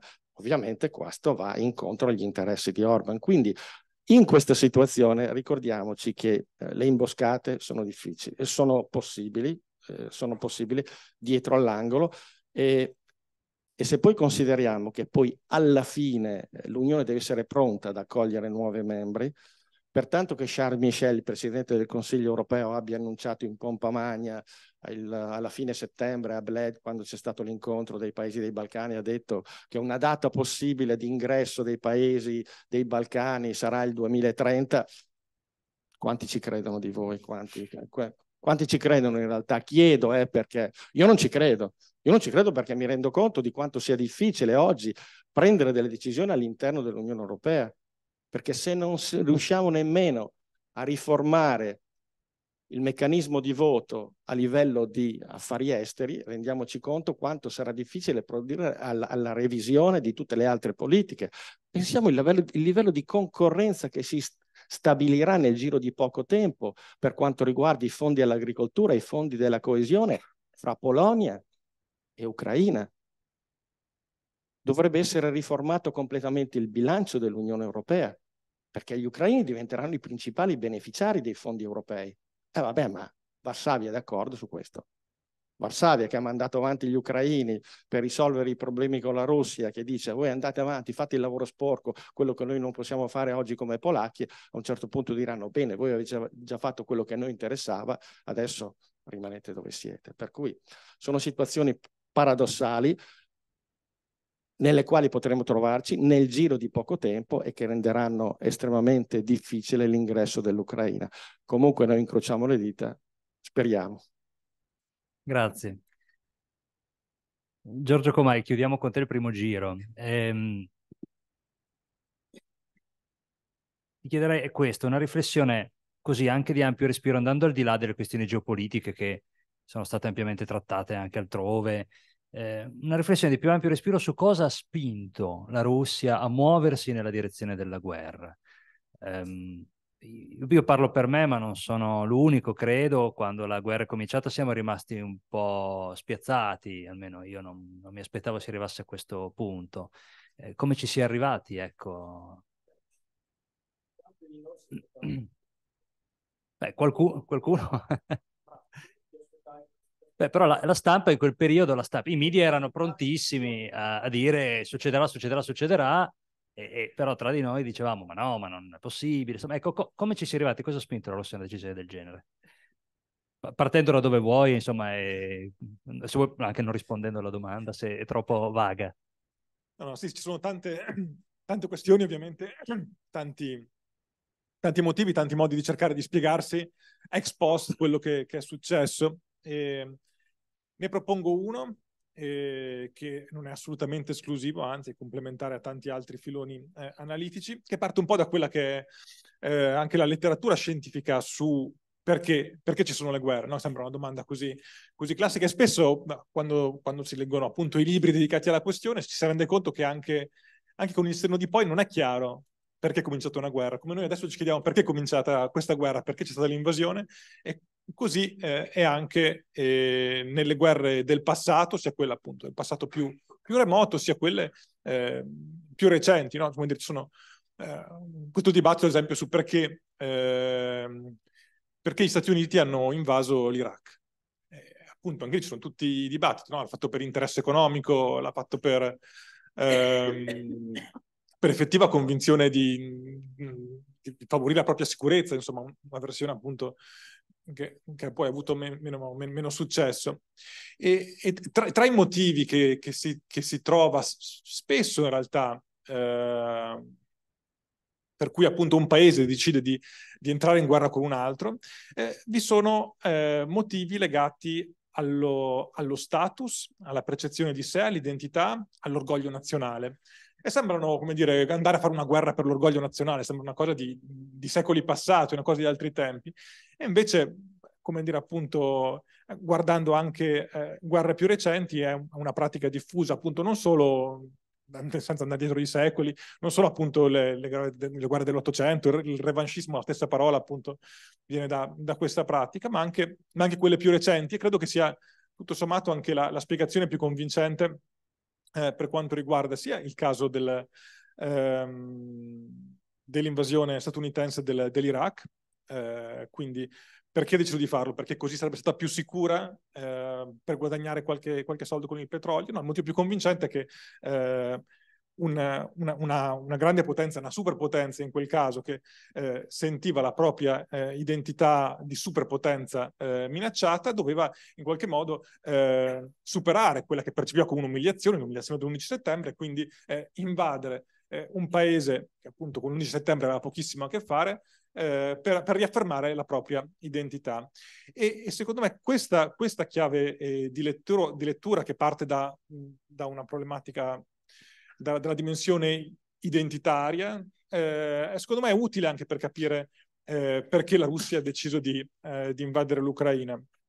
Quindi questa dimensione identitaria ha tante componenti, eh, parte eh, riguarda sicuramente in modo più diretto l'Ucraina, proprio appunto come si è, come si è detto in più occasioni, le relazioni, eh, la, la, negazione dell'identità ucraina e l'affermare ehm, un, un ruolo predominante della Russia anche eh, sull'Ucraina, quindi negando l'identità stessa ucraina, questa è una parte importante delle dinamiche che hanno portato a questa guerra, ma secondo me eh, un'altra dinamica è proprio quella della, della, Russia come un grande paese eh, che ehm, non, non, si sentiva più riconosciuto come tale, voleva riaffermare la propria identità di grande paese, di grande potenza eh, imperiale e, e, per farlo appunto ha fatto quello che hanno fatto in passato tante altre grandi potenze, ha fatto una guerra contro un vicino che riteneva più debole eh, e l'ha fatto per affermare eh, la, propria, la, propria, potenza anche nei confronti dell'Occidente che continua ad essere il principale punto di riferimento identitario eh, verso cui eh, si definisce, si contrappone in un certo senso l'identità russa. E, e quindi in questo, eh, in questo, anche quando guardiamo appunto alle fasi precedenti, l'inizio dell'invasione, quando c'era tutta questa insistenza sul fare un nuovo trattato per la sicurezza in Europa, eh, su cui insisteva appunto a fine, a fine 2021, inizio 2022 anche il Ministero degli, degli Esteri russo, il punto non era tanto eh, appunto eh, avere un nuovo trattato per la sicurezza in Europa, Guarda, la, la Russia non aveva nessun realistico timore di, di ritrovarsi eh, invasa eh, da, da, paesi dell'Unione Europea, insomma. Eh, il desiderio era quello di, eh, come dire, il, il, modo in cui stata richiesta, è stata richiesta come, non come l'inizio di un negoziato sincero, è stata richiesta come un imporre condizioni per dimostrare che si può eh, imporre condizioni, che si può in un certo senso sputare in faccia all'Occidente, come si è fatto in Siria, come si è fatto eh, con l'annessione della Crimea, e non se ne paga le conseguenze. Quindi eh, in questo senso, secondo me, aiuta a pensare a questa guerra come eh, una guerra di fine impero, eh, come altre eh, grandi potenze eh, imperiali europee, eh, anche la Russia eh, sta avendo grandi difficoltà a ridefinire la propria identità. È stato un processo traumatico e difficile per tutte le grandi potenze europee, ehm, un processo che spesso passato per, per, ehm, per, una, sconfitta, per una sconfitta militare. Solo dopo una, una, sconfitta militare, o più spesso ripetute sconfitte militari, si è riusciti a superare, eh, eh, come dire, questa dimensione eh, di identità eh, imperiale.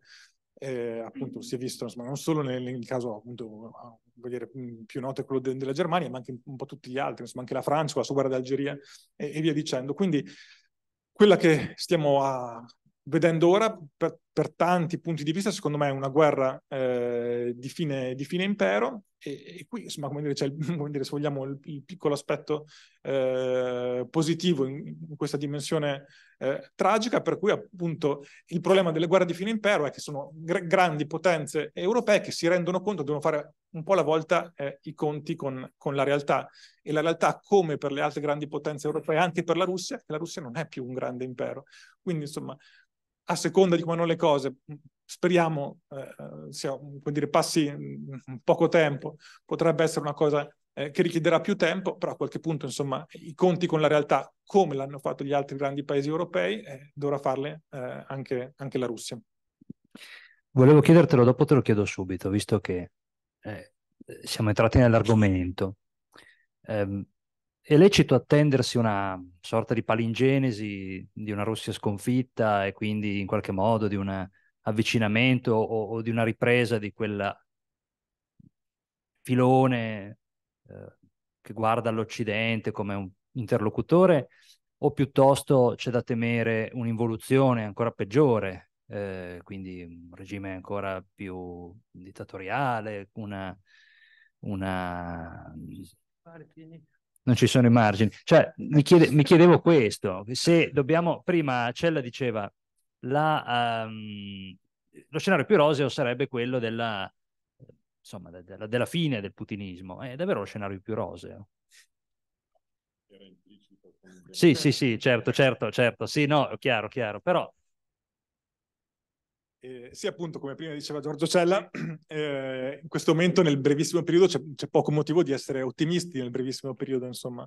Eh, se pensiamo invece un po' nel, nel, lungo periodo non c'è nessun motivo per credere eh, che il putinismo sia eterno, come dire, ideologie e sistemi politici con basi ideologiche ben più forti ben più radicate eh, non sono sopravvissute eh, a una sconfitta militare o a una sconfitta, non, non intendo necessariamente una sconfitta piena, anche come dire, una situazione eh, di, di, come dire, di, non vittoria eh, prolungata. Quindi da questo punto di vista eh, ci sono, sono davvero pochi, eh, pochi segni che, che, il putinismo eh, sia eterno, sia eh, davvero di, eh, di, lungo periodo. Molto dipende appunto da cosa succede eh, in Ucraina in questa fase. Come ho detto prima, appunto una, una riconoscibile sconfitta militare aiuterebbe molto nel processo. C'è uno spunto aggiuntivo di nuovo dalla letteratura che voglio che voglio fornire e anche questo ci dà eh, appunto pure nel contesto difficile qualche, qualche, spunto di ottimismo. Quando guardiamo a, quello che è successo nelle altre eh, grandi potenze che hanno, eh, che hanno subito una sconfitta eh, militare, che si tratti appunto ehm, del, del, Giappone, dell'impero ottomano che si è dissoluto, insomma, vi è un gran, un gran numero di casi. Eh, queste grandi potenze hanno dovuto fare qualcosa per superare eh, una fase eh, di stigma. Eh, la Russia in questa fase lo è solo da, dal 2022, non, non, non, insomma, non, dal 2014, è un paese che è stigmatizzato a livello internazionale perché ha una posizione eh, in, indifendibile, quindi è, secondo me, appunto, giustamente marginalizzato eh, da, dall'Occidente o dal centro di quella che chiamiamo, a torto ragione, comunità internazionale. Ora, eh, grandi potenze che stanno ai margini eh, di questo, di questo eh, spazio politico eh, che per tanti anni è stato egemonico, vedremo se lo sarà eh, ancora, eh, hanno varie modalità per superare questa fase di stigma. una è quella appunto di abbracciare lo stigma, dire sì, noi siamo effettivamente diversi, ehm, e ne siamo orgogliosi di essere diversi da questo, da questo eh, nucleo eh, occidentale eh, e que- que- quindi, quindi, trovare forza in questa differenza eh, identitaria. Eh, riescono a farlo appunto i regimi che hanno un, una base ideologica molto forte o quelli che ne hanno una base eh, religiosa. Eh, ad esempio, so, il momento dei talebani, ad esempio, ha, ha fatto que- questa strategia di legittimazione, legittimazione in cui sì, noi siamo diversi perché appunto eh, non, non, cerchiamo di, di, farci abbracciare dall'Occidente, ne siamo completamente diversi. Un altro eh, modo classico è quello di ehm, dimostrare in modo eh, in certa misura oggettivo, avere un successo dal punto di vista economico, politico, sociale, militare, dimostrare la propria superiorità. Questo è un po' quello che, banalizzando, eh, diremo è, è, il caso della Cina, eh, che eh, in un certo senso non deve dimostrare di diventare come l'Occidente, ha un modello alternativo che è di successo, in qualche misura è, è di successo e quindi riesce ad offrire un, un, modello alternativo. Quindi anche se la Cina venisse stigmatizzata a livello internazionale, non si ritroverebbe, potrebbe, avrebbe una forza per dimostrare alla propria popolazione che ha un'identità forte, ha un modello funzionante per certi versi forte superiore, o così almeno può raccontarlo internamente. Allora, questo, questo secondo modello per me è completamente impossibile per la Russia, evidentemente non, non è un modello né di innovazione né di successo economico eh, e quindi non è un'opzione eh, fattibile. La Russia ha cercato di eh, proporsi come ehm, proporre un modello eh, ideologico alternativo, insomma, tutta questa insistenza su cosiddetti eh, presunti eh, valori tradizionali. Però davvero, secondo me, l'omofobia è un po' poco come, come base ideologica eh, per proporsi come effettiva alternativa eh, all'Occidente liberale. Davvero no, non può bastare eh, per porsi come, come, modello che può proporre alternativo alla popolazione russa credibile. E, e quindi in sostanza la, la, se queste due opzioni non ci sono resta la terza, eh, che è quella in qualche modo di, eh, di riconoscersi come parte di una grande, eh, di una, di una grande tradizione e di dire che eh, il, comp- il, comportamento che ha portato allo stigma è stata un'aberrazione.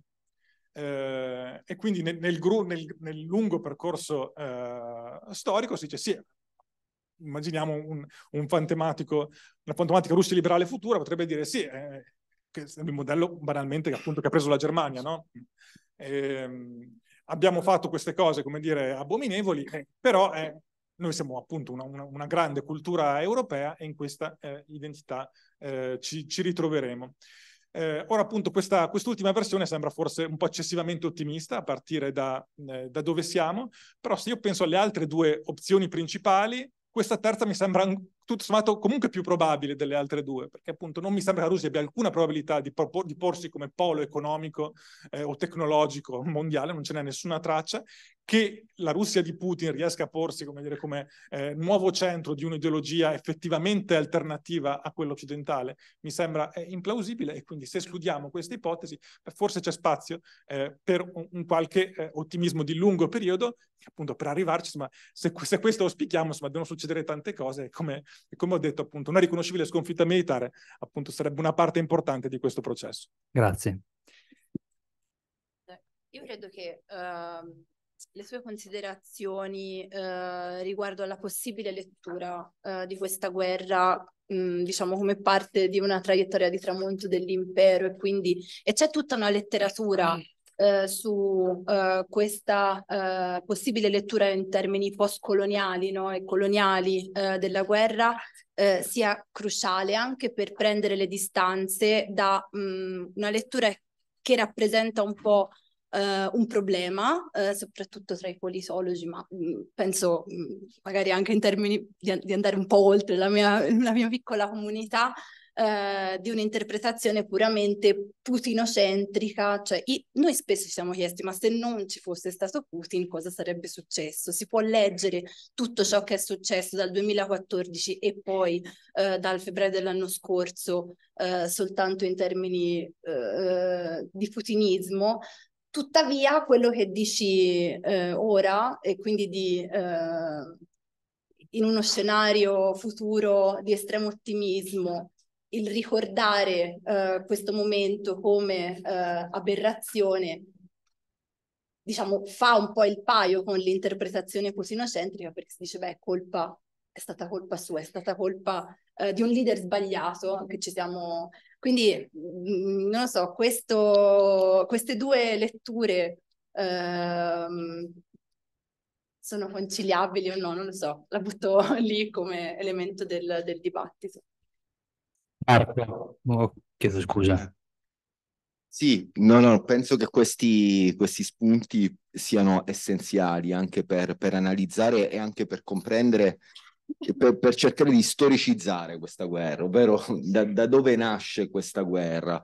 E secondo me anche guardando al dibattito interno in Russia si può anche capire e, percepire un po' la dimensione, la portata del passo indietro che dobbiamo fare nel tempo per cercare di comprendere quale sia il nocciolo eh, della questione. Eh, Andrei Kortunov, eh, il direttore del Russian International Affairs Council, comunque una persona dentro il sistema e in un articolo dell'aprile del 2022 eh, parlava di questa guerra come l'ultimo atto della, eh, del grande trauma della Russia e del dramma della Russia alle prese con la propria eredità imperiale.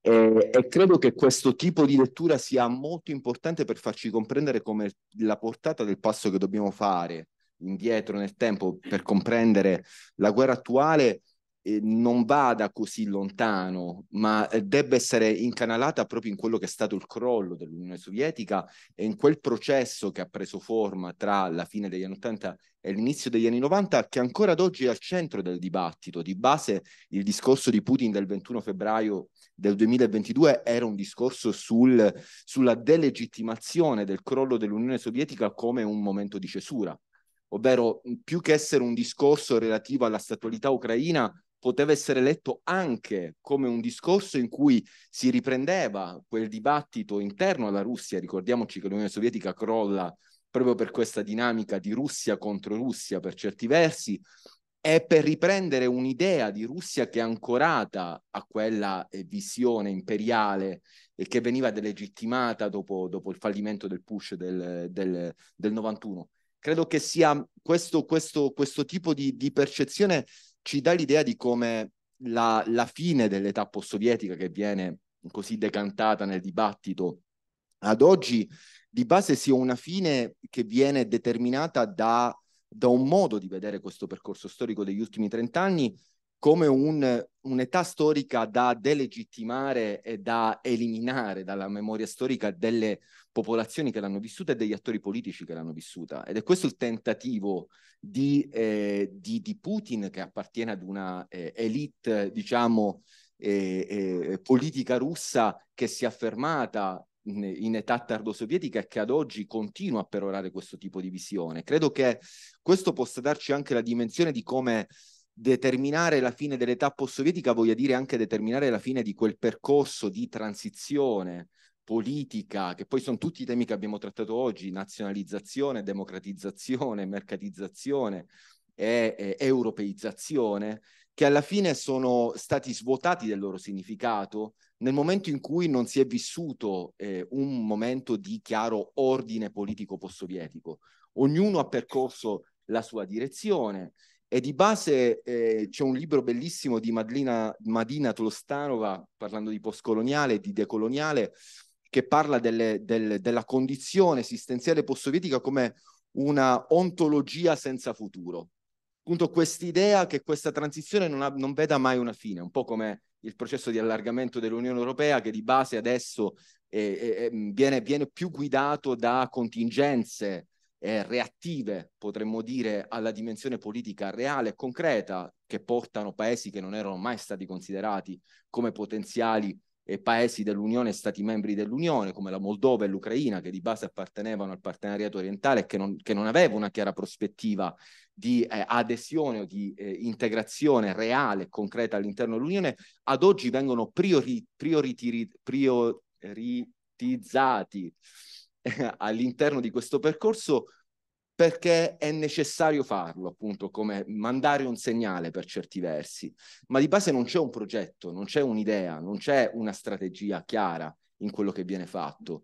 E credo che eh, il tentativo anche di questa guerra sia quello proprio di mettere in, luce, mettere in evidenza tutta questa precarietà, diremmo, di, di, di percorsi di transizione è riportare, rilegittimare quell'elite politica che era stata messa da parte all'indomani del crollo dell'Unione. Se poi ci pensiamo, penso per dare anche spunti a Giorgio, eh, che so essere appunto eh, eh, anche aver studiato a fondo anche le questioni degli stati de facto nella regione post-sovietica, questa dialettica tra eh, diverse generazioni eh, di eh, elite politiche tardo, tardo sovietiche si replica all'interno di questi contesti e questa guerra per certi versi può essere letta anche tramite questo prisma. Ovvero eh, una, un, un, tentativo di eh, restaurare un sistema di potere che era stato eh, delegittimato negli anni tra l'89 e il 91, ma che ad oggi vuole essere per certi versi riscritto da alcuni di questi attori. Non so come, se, se pensi a quello che è avvenuto in Transnistria o eh, alla luce e lo, e lo proietti su quello che sta succedendo oggi. Potrebbe essere anche interessante vedere e vedere queste dinamiche. Però forse sto andando oltre. Eh, scusateci per questa maratona di due ore e mezza. Eh, cercate di resistere. Non è.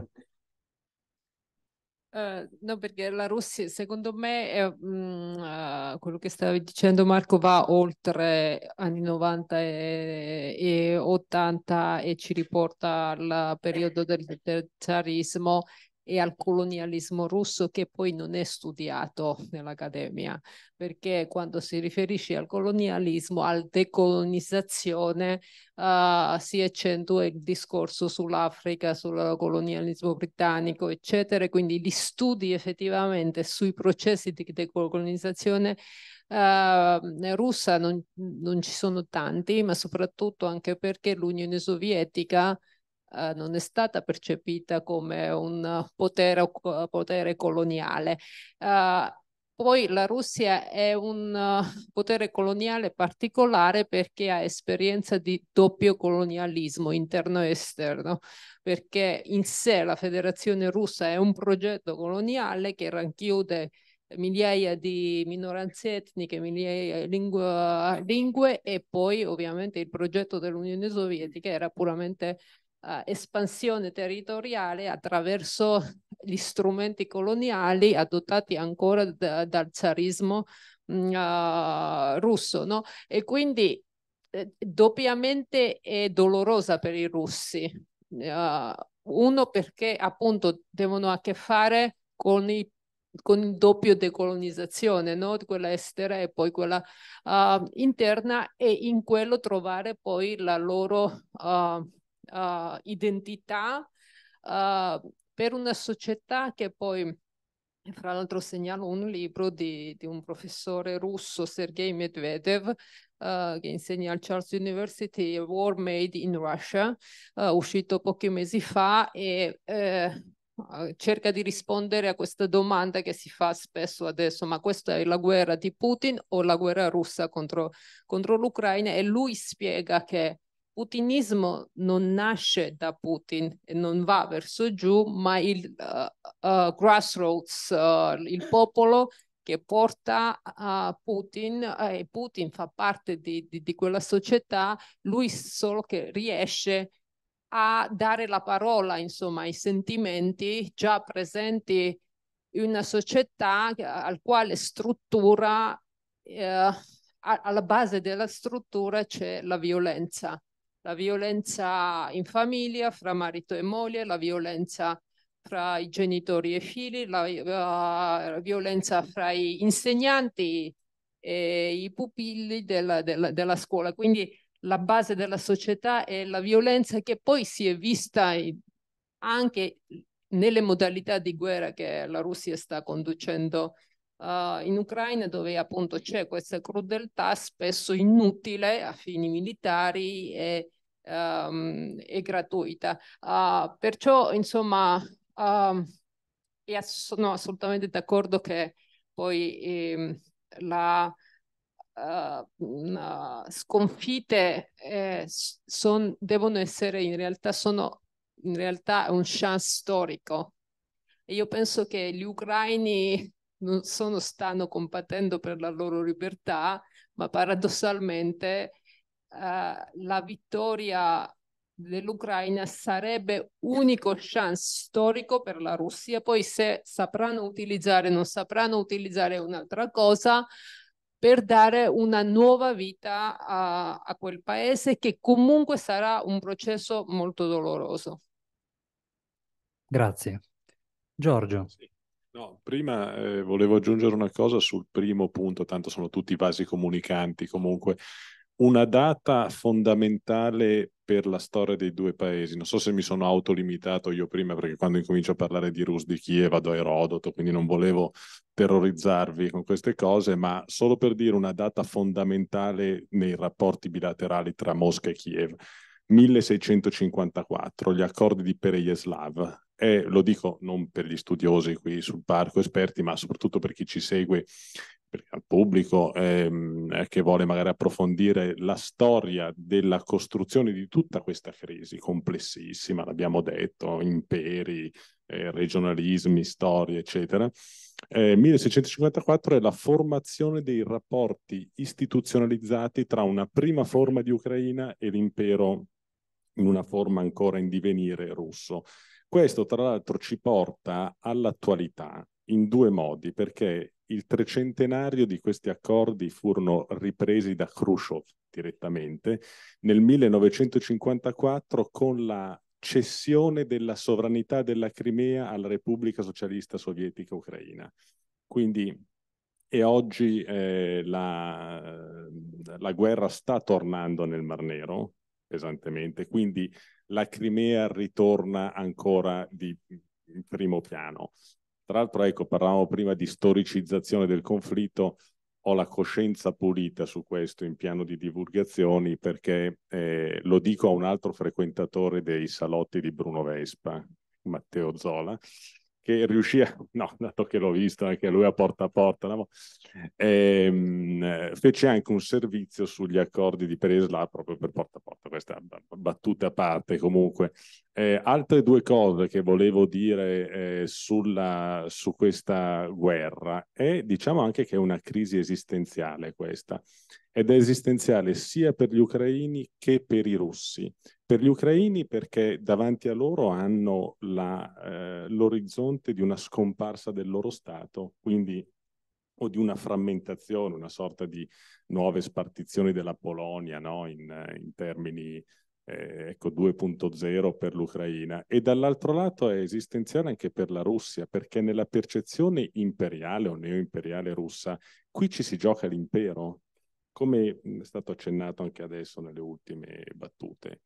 Cioè, i russi si giocano la loro dimensione imperiale di potenza e noi sappiamo che la Russia vive come Stato proprio per essere riconosciuta potenza, cioè la gloria, no? Vilika Yarassia, per l'appunto. Quindi veramente qui siamo a uno snodo eh, centrale eh, della storia. Il tutto ha a che fare ancora con i confini, come abbiamo detto prima. Ricordiamo anche dal punto di vista storico, Ucraina significa Okrai in russo, cioè sui confini, e qui c'è anche la sua eh, essenza geopolitica. Se la Russia, e concludo questo breve intervento con vari punti, eh, un po' spaiati forse, ma sono, ripeto, tutti vasi comunicanti, se la Russia dovesse uscirne bene dal suo punto di vista, sarebbe una tragedia per l'Occidente, perché eh, sarebbe una, ehm, eh, pratica una sconfitta di tutto quello per cui l'Occidente ha combattuto, ma, ma, anche a livello valoriale di diritto internazionale. Penso alla dottrina Stimson,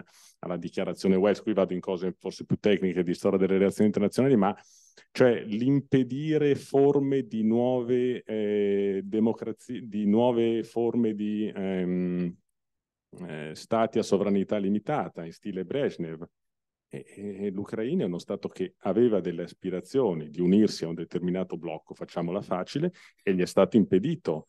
Quindi si, ritorna, si ritornerebbe a una legittimazione di nuove logiche di potenza ottocentesche. Per, quindi una, una, una tragedia per quanto concerne la reputazione dell'Occidente, tutto quanto ha fatto dalla seconda guerra mondiale in poi, fino alla vittoria della guerra fredda, e, e, è un, un, un, pasticcio enorme per quanto concerne la reputazione internazionale degli Stati Uniti, che in questi due archi di crisi, riprendo una fotografia più ampia, ha i suoi alleati principali nell'Ucraina, nel quadrante centro-orientale europeo, e in Israele, in quello medio orientale, se dovesse, eh, diciamo, non riuscire in questa sua dottrina di assistenza all'Ucraina, come detto all'inizio, un po' spuria, un po' opaca fin dall'inizio, l'aveva delineata il ministro degli esteri eh, Lloyd Austin all'inizio, cioè fermare, impedire che la Russia rifaccia un'altra cosa del genere con altre nazioni limitrofe. Si sono limitati a questo, una sorta di containment eh, moderno. E quindi ecco, anche per la reputazione eh, generale già macchiata dall'uscita dall'Afghanistan e degli Stati Uniti sarebbe eh, un dramma, direi, senza termini più moderati.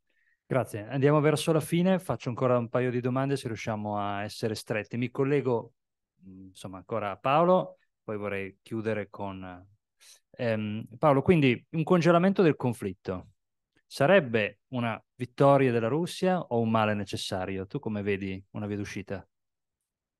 Ne parlavamo. Mi piace contraddire chi, chi mi ha preceduto, ma, ma per me è un male necessario, almeno lo vedo dal punto di vista politico. Allora io eh, non avevo intenzione di cominciare col processo d'adesione prima, in realtà il, la scaletta era diversa. Eh. Sì, non è importante, l'importante No, no, però, però um, ci tengo a precisare una cosa. Uh, per me eh, novembre di quest'anno sono dieci anni dall'inizio dei moti di Piazza Maidan, dieci anni fa. Io dieci anni fa arrivavo in Piazza Maidan testimone diretto di quello che stava succedendo. Eh. Mm, ero, sono arrivato, i, i, primi casini in piazza sono all'incirca il 20 di novembre del, del 2013. Arrivo una settimana dopo io, su un'eurodeputata tedesca, Rebecca Harms, che mi chiede andiamo a vedere quello che sta succedendo perché ho sentito che sta succedendo qualcosa a Kiev. Arriviamo in piazza, arriviamo, era un, anzi ero da solo perché l'eurodeputata arrivata, arrivava il giorno dopo perché ho detto ero proprio su Cresciati, che è il corso principale di Kiev.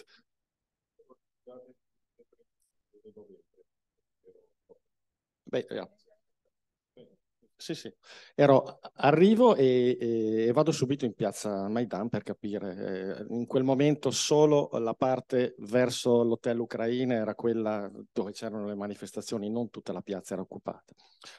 E mi trovo di fronte 1500, 2000 ragazzi dai 20, 22, 23 anni, studenti, tutti studenti, tutti, che con uh, l'incoscienza dell'età sono lì in piazza che ballano, danzano. La settimana prima erano stati picchiati dai tituschi, da, dal, dal corpi speciali della polizia e, e e questi sono lì con le bandiere dell'Unione Europea, con le bandiere dell'Ucraina e gridano Europe, Europe, Europe. Era un momento drammatico per l'Europa, eravamo in piena crisi euro, quindi Europa matrigna si discuteva. E questi qui invece che rilanciano l'idea d'Europa.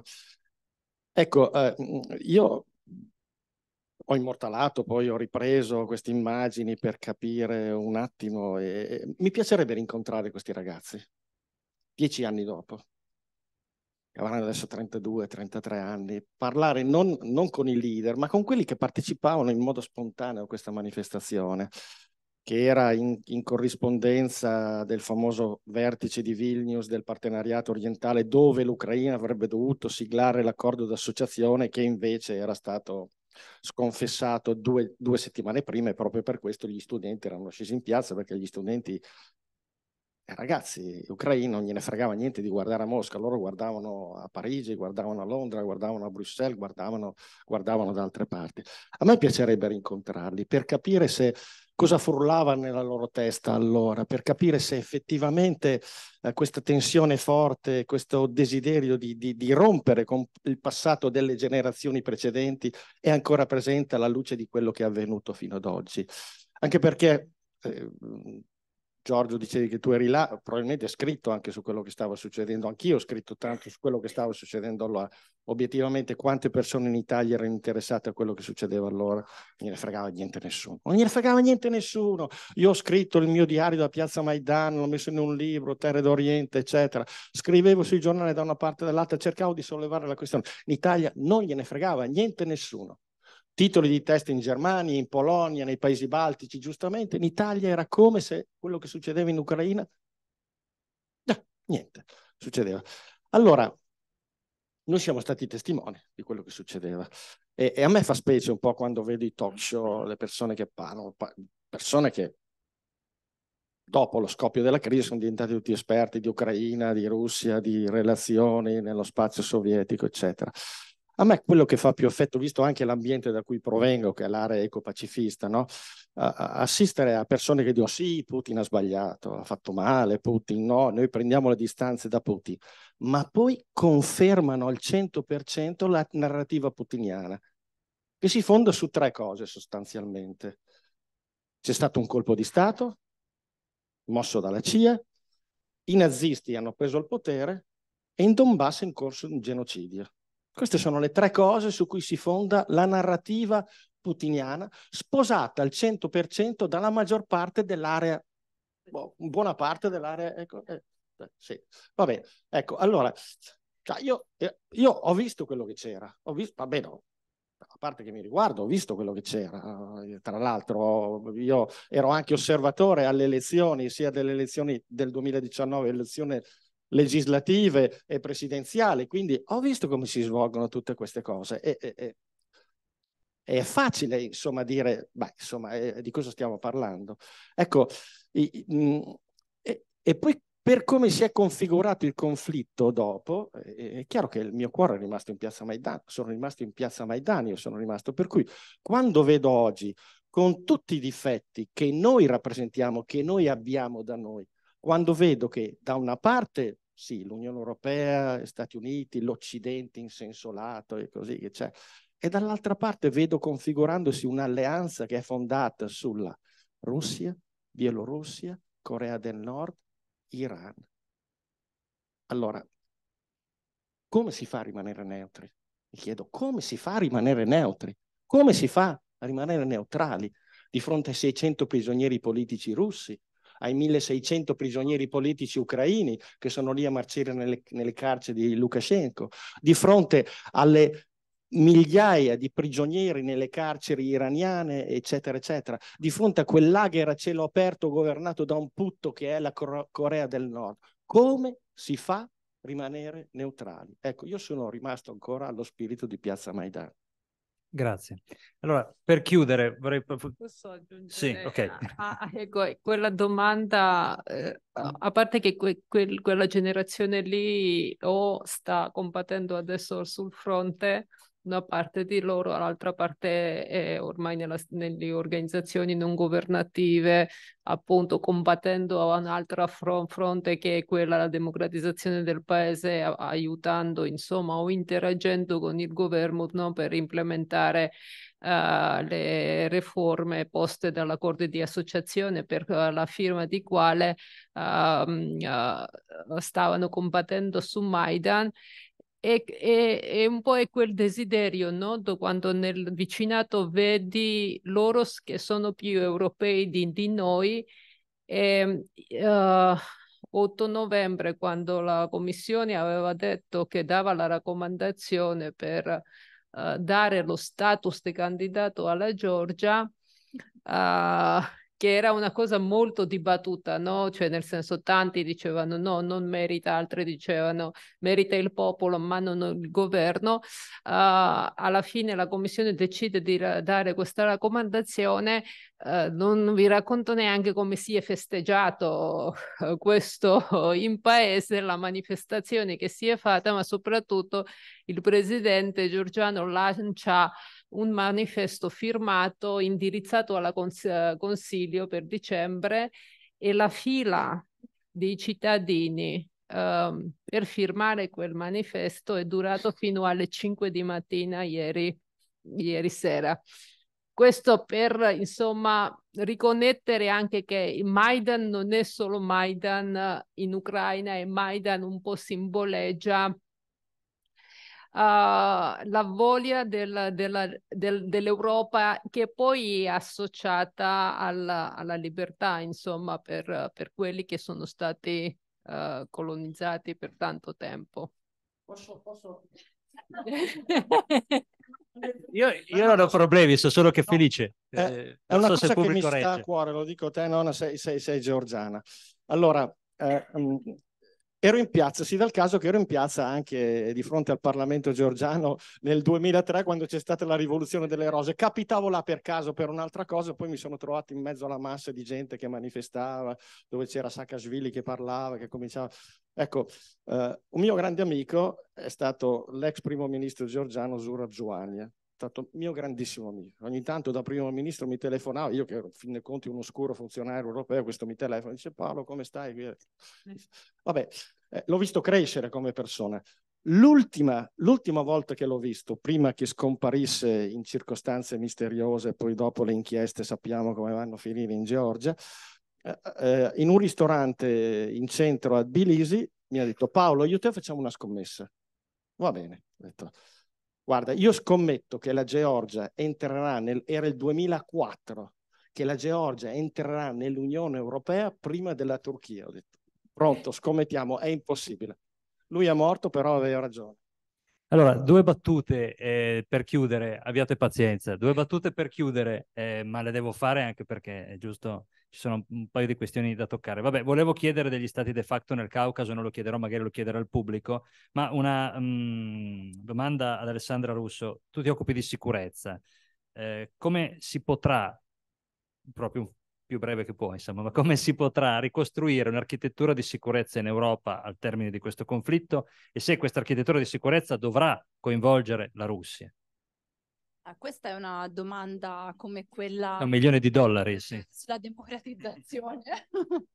e, um, allora, faccio un paio di riferimenti a quando ero studentessa e a ora che sono docente. Quando ero studentessa c'avevo il professore di studi strategici che ci faceva una testa così su quanto le architetture di sicurezza, gli ordini politici internazionali fossero alla fine il frutto del risultato eh, di come va a finire una guerra, una guerra costituente. Ora, mi pare che la guerra in Ucraina possa essere definita una guerra costituente anche, diciamo, retrospettivamente, pensando a quanto eh, come finire la guerra creerà eh, un ordine eh, nuovo, eh, un ordine in cui tanti tabù Uh, probabilmente um, sulla definizione di cosa è violenza politica, di cosa è conflitto, di cosa è crisi, di cosa è sicurezza, uh, dovranno essere um, sciolti. Um, e poi faccio riferimento a una cosa su cui io faccio una testa così agli studenti, eh, che è questo articolo di molto prima del 2014 di una uh, autrice tedesca, Ursula Schröder. Eh, non va letto tutto, ma il titolo è emblematico. Eh, dice che la sicurezza europea e quindi l'architettura di sicurezza europea non è stata costruita by design, quindi non è stata concepita sulla base di una certa rappresentazione di chi è il nemico, di cosa è la minaccia e di cosa rende sicura, sicuro chi all'interno del perimetro del territorio europeo, ma by stealth, improvvisando attraverso innovazioni istituzionali, artifici tecnici incrementali nel tempo. C'è stata l'opportunità eh, di definire cosa sia sicurezza europea nel 2014 ed è stata un'opportunità perduta, eh, perché in quel frangente in un certo senso le istituzioni europee hanno replicato un po' questo modello ipertecnicistico e depoliticizzato di intervento come eh, nella gestione del conflitto senza, e questa è una cosa che mh, tanti attori locali in Ucraina con cui ho avuto l'opportunità di interloquire recriminano all'Unione Europea. Voi non avete capito la vera natura del conflitto all'Unione Europea, ai rappresentanti delle istituzioni europee. Ora siamo chiamati di nuovo a fare questo tipo di operazione che prima di essere politica è cognitiva. Stiamo capendo cosa è la guerra, siamo veramente capaci di capire cos'è questa guerra e quindi dalla comprensione profonda di questa guerra e quindi anche dalla ridiscussione delle nostre storie coloniali, non solo dalla lettura della storia eh, coloniale imperiale russa, ma anche dalla nostra eh, storia coloniale, di considerare alcuni territori semplicemente come buffer, come storie, spazi di interdizione e reificati, no? senza un'attorialità propria. Eh, siamo chiamati a ridiscutere questo. Io penso che questo, più che eh, l'architettura istituzionale, sia quello che modellerà il futuro eh, dell'ordine eh, politico e di sicurezza europeo. Quindi Grazie. uno sforzo cognitivo, di immaginazione intellettuale. Alexei, sei l'unico ucraino tra i relatori, ti lascerei chiudere. Penso tu abbia delle considerazioni da fare su quanto è stato detto. Eh, sì, ce ne sono talmente tante esatto, quindi scegliene, scegliene, una su è cui... Difficile. No, innanzitutto eh, un commento eh, su, su, sul libro di Medvedev, no? E, ehm, c'è una discussione anche a livello sociologico fino a che punto possiamo attribuire colpe dei leader alla popolazione e, e, e viceversa. Una discussione che a me eh, trova dalla parte ehm, meno determinista del, de, de, de, dello spettro, no?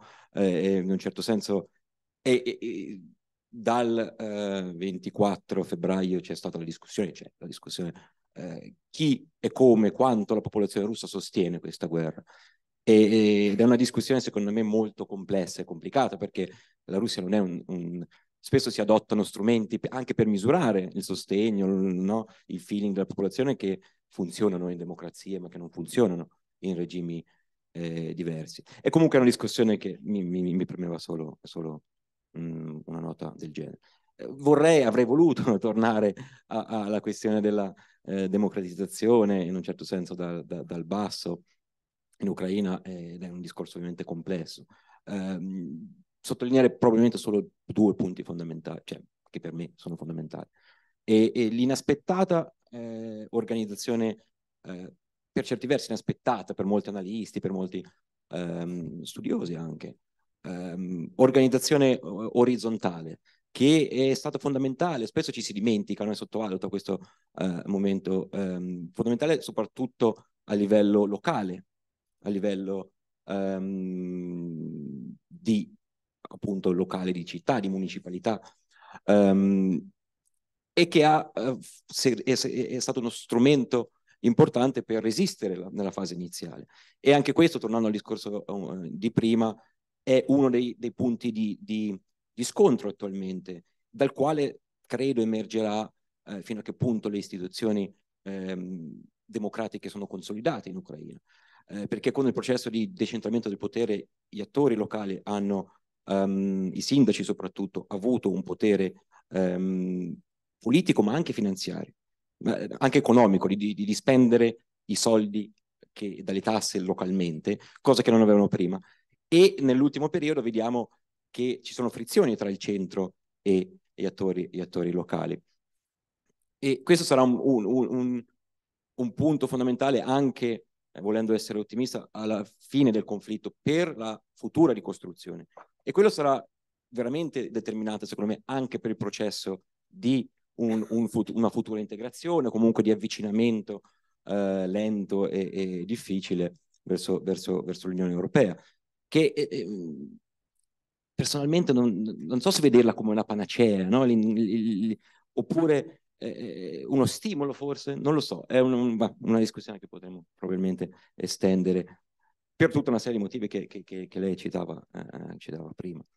E, e il, secondo punto che secondo me è centrale è il ricambio generazionale. No? Abbiamo parlato del, uh, di questa crisi imperiale uh, in Russia e, e, e, di questa, um, come dire, eh, visione, guardare il futuro uh, guardando anche il passato, no? e questo non, non, l'Ucraina non è esente da questo, non era esente da questo.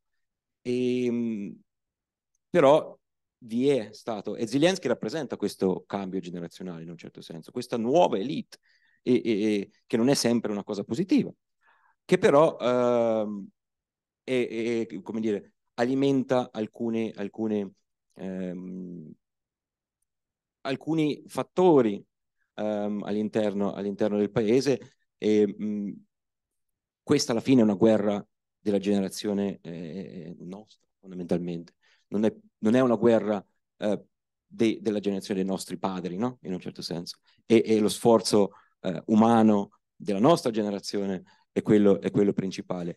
E, e, la speranza, in un certo senso, è che questa generazione sarà quella che, eh, che ricostruirà poi il paese, ehm, che alla fine è una generazione che ha vissuto solo, eh, non ha vissuto l'età politica matura eh, ne, ne, nell'Unione Sovietica e, e ha una visione eh, il ricambio valoriale, no? quello che i sociologi chiamano il, cambio, il ricambio generazionale, quindi tutto un sistema valoriale, quindi anche una visione, se vogliamo, di democrazia. Cos'è la democrazia? E ci sono visioni diverse, di, di, di eh, eh, fondamentalmente una domanda probabilmente semplice, cos'è la democrazia? No? E, e, mia madre mi risponderebbe in maniera completamente diversa a quello che probabilmente risponderei io. Eh, e questo è in un certo senso sottolineato anche dalla trasformazione durante la guerra, L'unica cosa che, due cose mi preoccupano in verità. Eh, eh, una è la debolezza delle istituzioni, alcune delle istituzioni fondamentali per il consolidamento della democrazia, e qui parlo da comparativista, no? Eh, eh una è il, sono i partiti politici. 20, 20 anni fa Andrew Wilson scriveva no, dei virtual politics eh, e, partiti virtuali e politica virtuale fondamentalmente, riferendosi a come la politica veniva fatta nello spazio post-sovietico eh, e, e, dal punto di vista dei partiti politici poco è cambiato in Ucraina, perché i, i, i partiti nascono e muoiono, eh, nuovi partiti sono capaci di conquistare ma non di consolidarsi e anche il partito di Zelensky ne è una dimostrazione. Eh, alle um, elezioni amministrative nel 2020 eh, non è stato capace di mantenere quelle, quelle, quelle, quel consolidamento de, a livello partitico. Adesso, eh, come dicevo prima, in Parlamento ci sono eh, anime diverse all'interno del partito, ad esempio, ma anche altri partiti. Quindi il consolidamento dei partiti che permette di superare la fase di personalismo, che dopo tende a accentramento del potere, appunto, e eh, a minare alcune delle istituzioni. Um, e la seconda, e qui credo chiudo, um, è il, il trend eh, di uh, sfiducia nei confronti delle istituzioni, che è un trend al basso. E se questo è stato anestetizzato dal, uh, dal, dall'invasione uh, nel febbraio, e quindi abbiamo visto per quanto i numeri dei, dei, dei, dei, ehm, sociologici, dei, sorry, eh, delle indagini sociologiche eh, siano, vadano prese co, co, con le molle, ma comunque vediamo, abbiamo, vediamo adesso i sondaggi e i trend. Ehm, l'unica istituzione che è rimasta, eh, dalla quale la popolazione si fida eh, a livelli ehm, precedenti, a, a livelli nella, simili alla prima fase de, dell'inizio della, de, del conflitto, della guerra, eh, e sono le forze armate mentre eh, la presidenza, il Parlamento, eh, i partiti i servizi segreti e non eh, osserviamo un calo. E questo è un trend che ancora potrebbe in futuro alimentare eh, eh, i nuovi leader che arrivano, no? Eh, se vogliamo, in forma populista. Aristovic, ad esempio, è uno che sta cercando di fare, di cavalcare questa, questa cosa qua attualmente. Ed è la riproduzione di un sistema che c'è una persona al comando che lotta o vuole diventare presidente e il sistema è, è accentrato a quello. E ovviamente eh, è un problema per il consolidamento delle istituzioni democratiche eh, in un certo senso, ma sono trend e sono, sono questioni molto, molto, molto complesse. Eh, penso che chiuderei. Sì, qui. se ci fosse tempo facciamo qualche domanda al pubblico che naturalmente Beh, possiamo... Allora, eh, sì, passerei, abbiamo ancora un po' di... Sì, sì, un attimo, abbiamo, abbiamo ancora un po' di tempo. E ehm, quindi sono appunto felice di dare la parola a chi è venuto. E solo una battuta, uno dei film che abbiamo premiato come osservatorio in questo premio importantissimo, senza denaro naturalmente, ehm, che Osservatorio attribuisce ogni anno a un festival presentato a Trieste, ehm, si, chiamava, si chiama Hamlet Syndrome ed è proprio sulla generazione eh, di cui parlavi Paolo, ehm, quindi quella che ha combattuto la guerra dal 14 in poi e devo dire un film che merita un documentario, film, no, mix, un docufilm direi, ehm, che, che merita perché racconta proprio la generazione di tu dici e ne trae quello che, si, che ci si porta via, questo io, eh, questo grande bisogno di libertà per la quale, per difendere la quale sei disposto a a rischiare la tua vita, ma anche una generazione profondamente traumatizzata e, mh, da tutti i punti di vista, quindi come dire, le conseguenze di lungo periodo sulla generazione che ha vissuto la guerra in generale bisognerà tenerli. Voglio fare una cosa all'osservatorio perché per otto anni nel silenzio generale dell'osservatorio di Caucaso ha sempre pubblicato tutto quello che basta quello che succedeva in Ucraina volevano scaviare che ci vuole per eh, e la volevano schiacciare. Buonasera, grazie. Ma io faccio parte di East Journal e quindi vorrei dire una cosa e fare una domanda a Nonna Michelizze che conosce bene la situazione nel suo paese.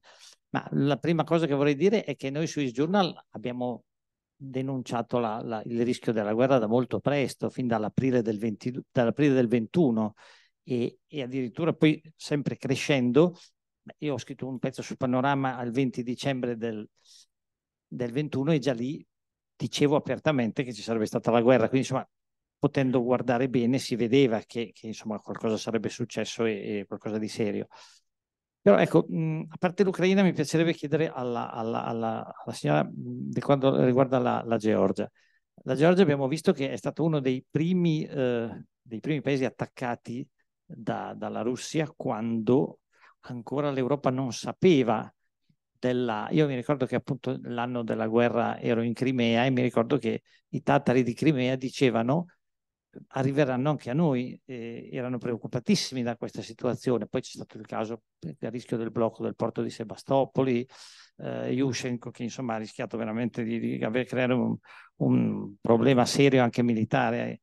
E io ero proprio lì e, e quindi tutti erano preoccupati, mentre noi non ci davamo ancora diciamo contezza di quello che sarebbe successo, mentre voi lo avete visto sulla propria pelle, perché addirittura quando Sarkozy quasi rimproverava i, i georgiani, ma come, ma mettetevi d'accordo, calate le braghe arrivederci.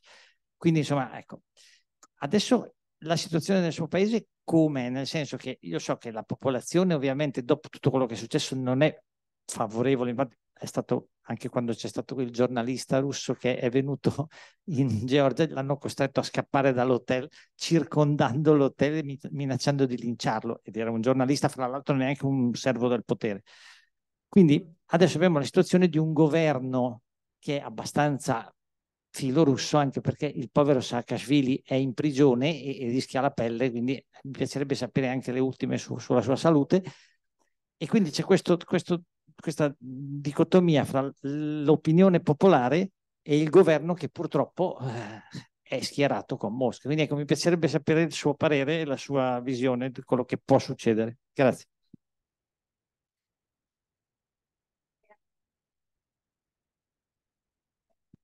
Sì, buonasera. Io mi chiamo Salvatore Sinagra e sono nel comitato scientifico di un CESPI, che però non è quello che conoscete voi, diciamo, con tanti acronimi, non so per quale motivo. Poi succede che due centri studi che, fanno, che ambiscono a fare più o meno la stessa cosa scelgono lo stesso, vabbè, fa niente. No, allora io eh, faccio una domanda sulla, sulla, guerra, la guerra quando è scoppiata la guerra. Allora io seguo l'area di Visegrad, quindi mh, mm, sono molto attento a quello che succede in Ucraina, però non, non ho la competenza e la capacità di andare nei dettagli. Però da come l'ho capita io, qua c'è stata una storia in cui fin dalla fi, dal, da, dal 1991 un pezzo di Russia importante non si è mai rassegnato ad aver perso l'impero, ma in particolare l'Ucraina, stiamo parlando di Ucraina. E per cui ci sono state tutta una serie di azioni e attacchi a bassa intensità. C'è stato un primo salto di intensità nel 2014 con gli omini verdi, eh, possiamo dire che fossero a servizio di Mosca un'esternalizzazione, chiamiamola bad company come volete, però comunque è una guerra un po' diversa da quella che conosciamo noi e per, su cui siamo abituati a ragionare, che è quella del mondo fino al 1989, però è anche quella guerra. E poi c'è stata una seconda escalation, due escalation, quella del 2022. Quindi la guerra, eh, dicevano, eh, in tanti dicevano non scoppierà, nel 2021 ci dividevamo, noi dicevamo di scoppierà, l'altro diceva non scoppierà, ma c'era già la guerra in Ucraina nel 2021, c'era nel 2020, nel 2019. Quindi una chiave di lettura, magari particolarmente balzana, me lo direte voi, non può essere che semplicemente Putin a un certo punto sarà malato, non malato, vuole scrivere la storia, quello che volete, però ha fatto un ragionamento molto semplice. E io voglio portare a casa un risultato. È dal 2014 che massicciamente ho i miei uomini lì, ho gli uomini verdi a grattare, ma non hanno grattato nulla. Voglio fare un salto di qualità. Perché sferro l'attacco adesso? Lo sferro perché c'è un'Europa provata dalle restrizioni del Covid il sol fatto che si parli di contingentamento del gas spingerà le cancellerie europee a trattare e a dire agli ucraini sapete che c'è, gli dovete dare 2, 3, 4, 5 blast, mettetevi d'accordo e la chiudete lì. Allora, può, la chiave di lettura più corretta invece di guerre che scoppiano e non scoppiano è che una guerra in fondo c'è sempre stata, ci sono stati due salti di intensità e, la, e l'evento scatenante è stato Putin che ha visto un'Europa provato, un Occidente provato dal Covid che probabilmente a un certo punto avrebbe derogato a principi che sono fondanti, almeno per me fondante l'intangibilità dei confini.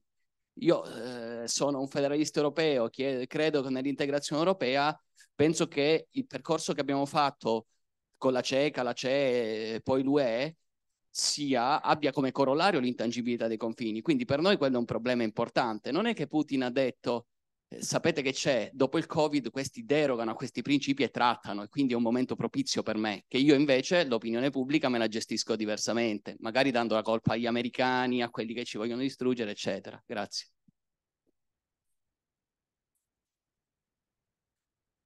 Buonasera, grazie a tutti. Uh, se parliamo delle uh, prospettive, l'Assemblea parlamentare del Consiglio d'Europa, per esempio, ha dichiarato che se Putin vincesse le elezioni nel marzo uh, 2024, e per esempio io so sono sicura che lo farà, sarebbe considerato illegittimo. Eh, cosa pensate tutti che cambierà e se lo farà? Se, se, se, se, eh, buonasera, eh, scusate sono un po' emozionato perché credo sia la prima volta che prendo in mano un microfono e spero capiate. Grazie, non so come funziona. e, ehm, abbiamo parlato appunto del ruolo dei giovani in, in Ucraina per Maidan, ma voglio anche eh, ricordare in Bielorussia, quando c'è stata la rivoluzione del 2020, tanti ragazzi sono anche scappati dalla Bielorussia e sono scappati tanti ragazzi in Russia nel, nel, da quando è scoppiata la guerra. E volevo chiedermi ehm, se per Putin o per il governo russo il fatto che una, una fetta giovane della popolazione esca eh, dalla Russia sia più un fattore positivo, una vittoria del governo, visto che era un, come dire, una fetta eh, contraria a Putin, o è comunque una cosa negativa considerando che la Russia è un paese che ha una, nat una natalità molto bassa e in più una prospettiva di vita inferiore rispetto ai paesi europei e quindi mh, ragazzi che magari hanno know-how, studiano, se ne vanno via dalla Russia è visto come un problema o meno.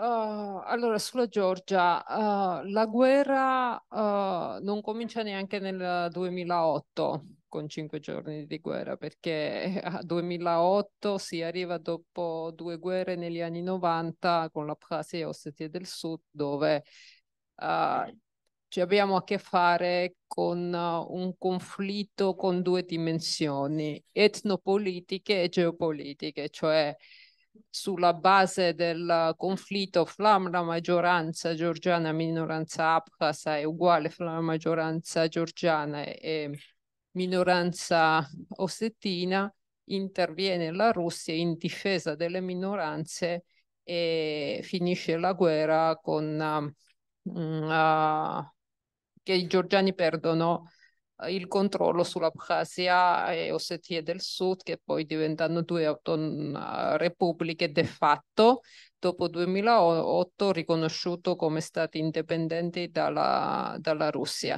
Uh, la Russia invade nel 2008, arriva Sarkozy e negozia l'accordo di sei punti e questo è anche uno dei motivi, insomma, quando siano scettici sul negoziato anche in Ucraina è perché c'è la precedenza dell'accordo di eh, sei punti negoziato dai, dagli europei fra uh, Medvedev, che era allora presidente, e Saakashvili.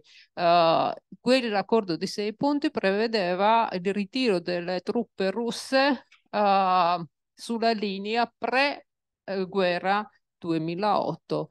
Uh, ovviamente quell'accordo non è stato mai implementato dalla, dalla Russia, non solo non sono ritirati eh, dalla, dai territori, ma esattamente due settimane dopo firma dell'accordo hanno riconosciuto indipendenza uh, di due repubbliche, poi hanno forzato due repubbliche di firmare accordi di amicizia che permetteva di aprire le basi militari alla Russia sia in Abkhazia e Ossetia del Sud. E adesso tutto questo ha ripercussioni anche quello che sta succedendo.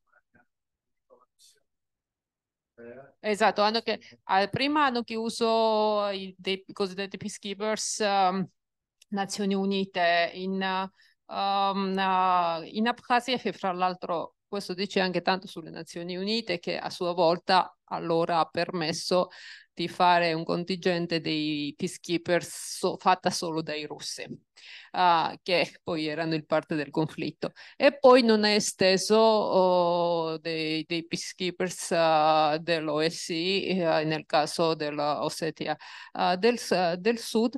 Um, e adesso c'è un'altra dimensione questo conflitto perché dopo che Ucraina, i militari ucraini rendono difficile per i russi la loro attività nel Mar Nero e bombardare dal Mar Nero l'Ucraina, uh, i russi sono stati costretti ad allontanare il nave militare uh, dall'Ucraina e eh, la Russia si è rivolto ufficialmente all'Abkhazia e vorrebbe uh, dal base, dal porto di Abkhazia stazionare lì navi militari e bombardare da lì, poi lanciare lì di missili eh, contro, contro Ucraina. Uh, quanto alla situazione interna, allora, la società, mm, il governo oh, è stato furbo di mascherare la narrativa, la sua retorica uh, e il suo essere pro, pro-russi con la narrativa essere pro-pace. Cioè noi abbassiamo la retorica contro la Russia così evitiamo che il conflitto si allarghi eh, su, su, sul, su di noi e in qualche modo oh, questo ha funzionato su una certa parte della società perché i traumi di guerra di 2008 persistono ancora e quindi la paura che ecco insieme agli ucraini poi in fila c'è la Moldavia e poi noi, questa paura c'è in, uh, in, in, Georgia, no?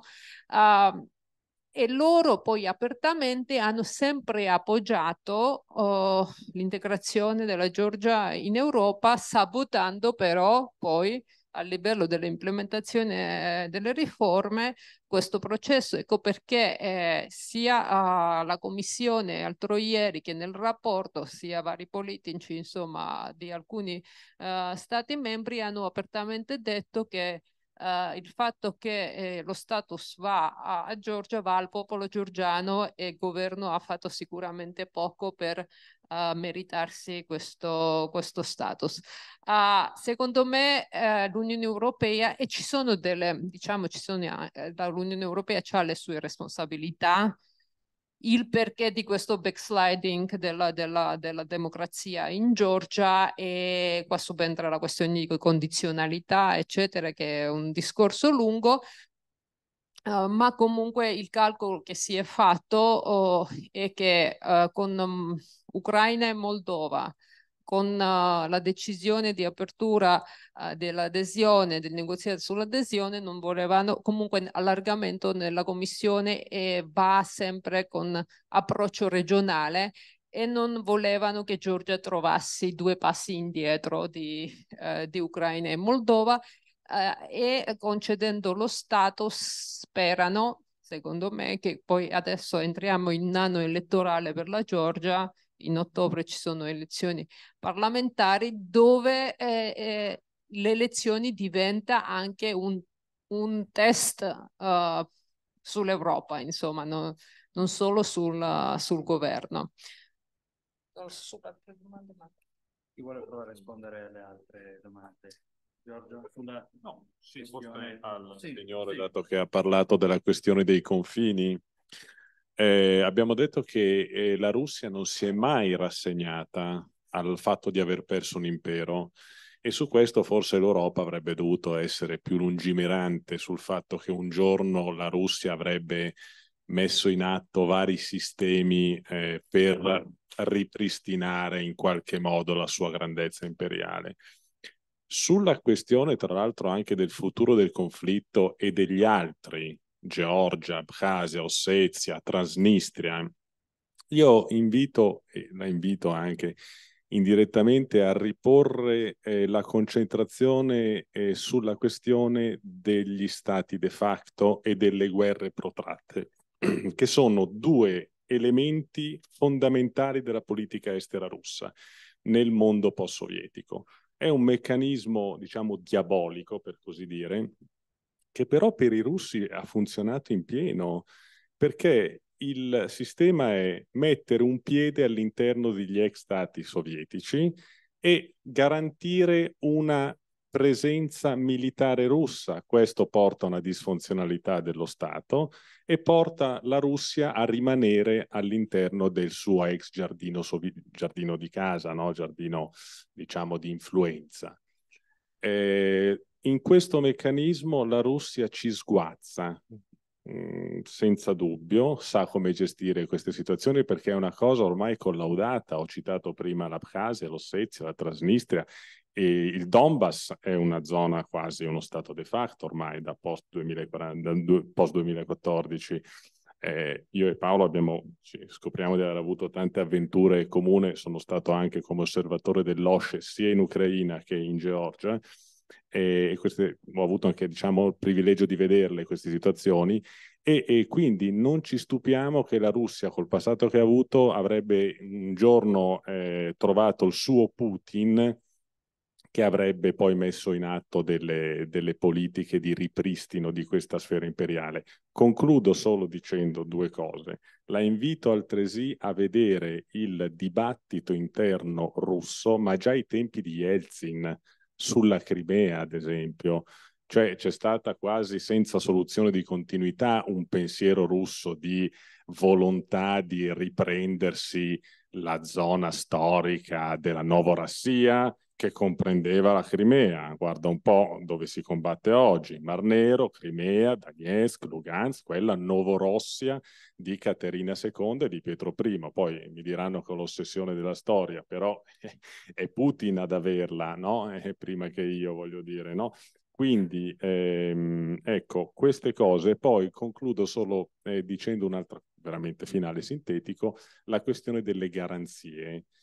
Eh, come in Ucraina in futuro, anche per il futuro del Medio Oriente e di Gaza, si sta parlando di questo sistema delle garanzie, che è una sorta di escamotage per dire non troviamo una pace eh, in qualche modo accettabile o definibile come tale. È una situazione di continuità di una eh, instabilità con un po' di limiti posti dalla comunità internazionale o da quello che ne rimane o che ne rimarrà alla fine di, due, di queste due avventure belliche. Sì.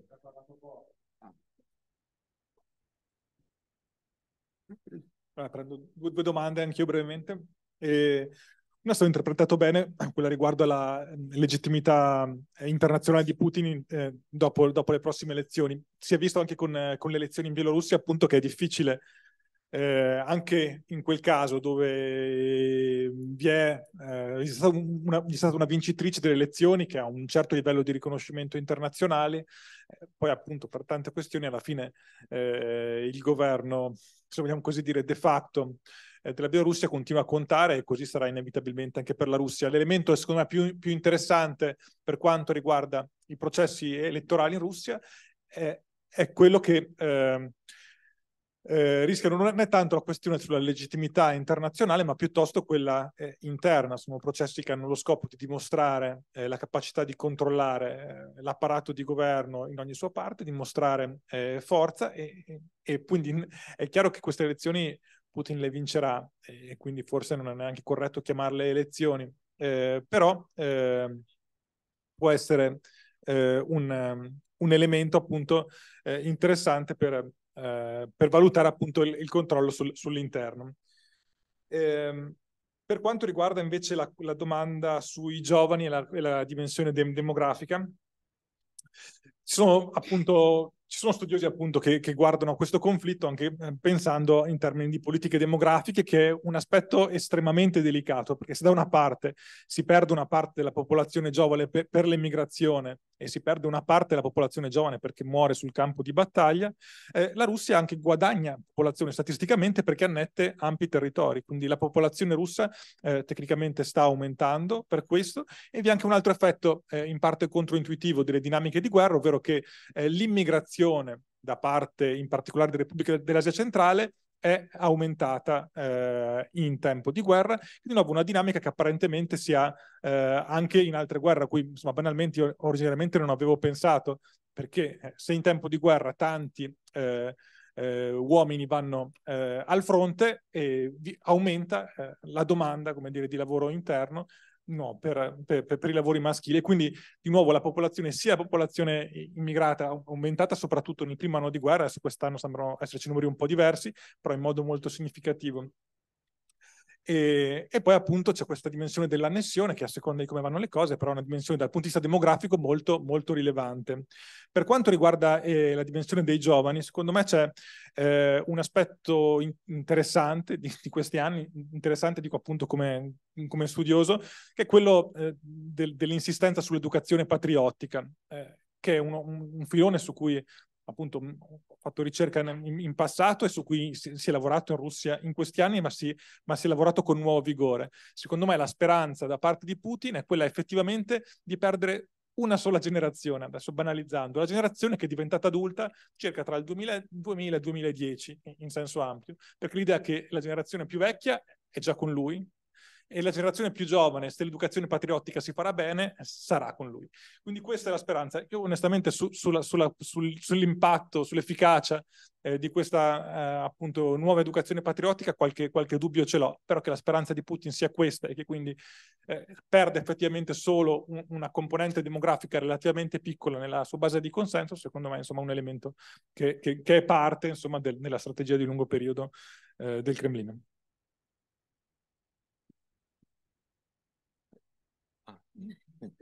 Eh, quale, penso manchi la domanda anche di, su Putin, decisione, sbaglio? Legittimo e illegittimo l'elezione di Putin. Sì, ah, della, eh, della... Eh, sì e poi, eh, de, de, de, sì, forse non mi sono confuso io.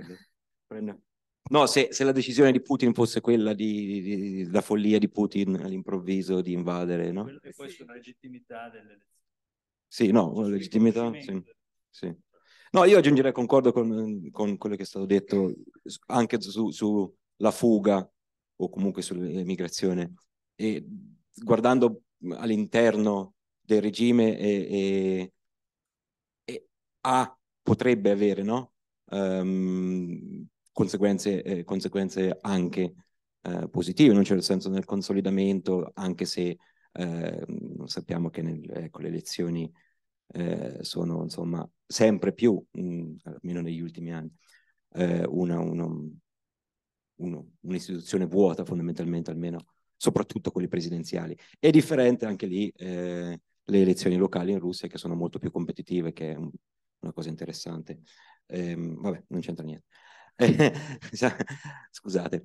Eh, per quanto riguarda eh, sì, eh, credo che eh, eh, la decisione, come abbiamo detto, non, quello che vedo io, adesso personalmente, non, non, vi è una spiegazione facile al perché eh, la guerra e perché il timing della guerra.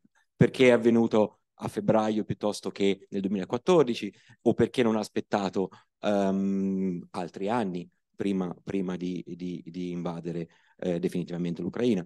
E parte anche della comunità scientifica vede eh, nel, una serie di crisi internazionali, quindi Covid, quindi la crisi, eh, la crisi in America con il periodo della presidenza Trump e così via, come uno dei fattori che ha limitato eh, eh lo spazio teo teoretico eh, per, per, il, per, il, quale la decisione è caduta in, quel, in quello specifico 2022.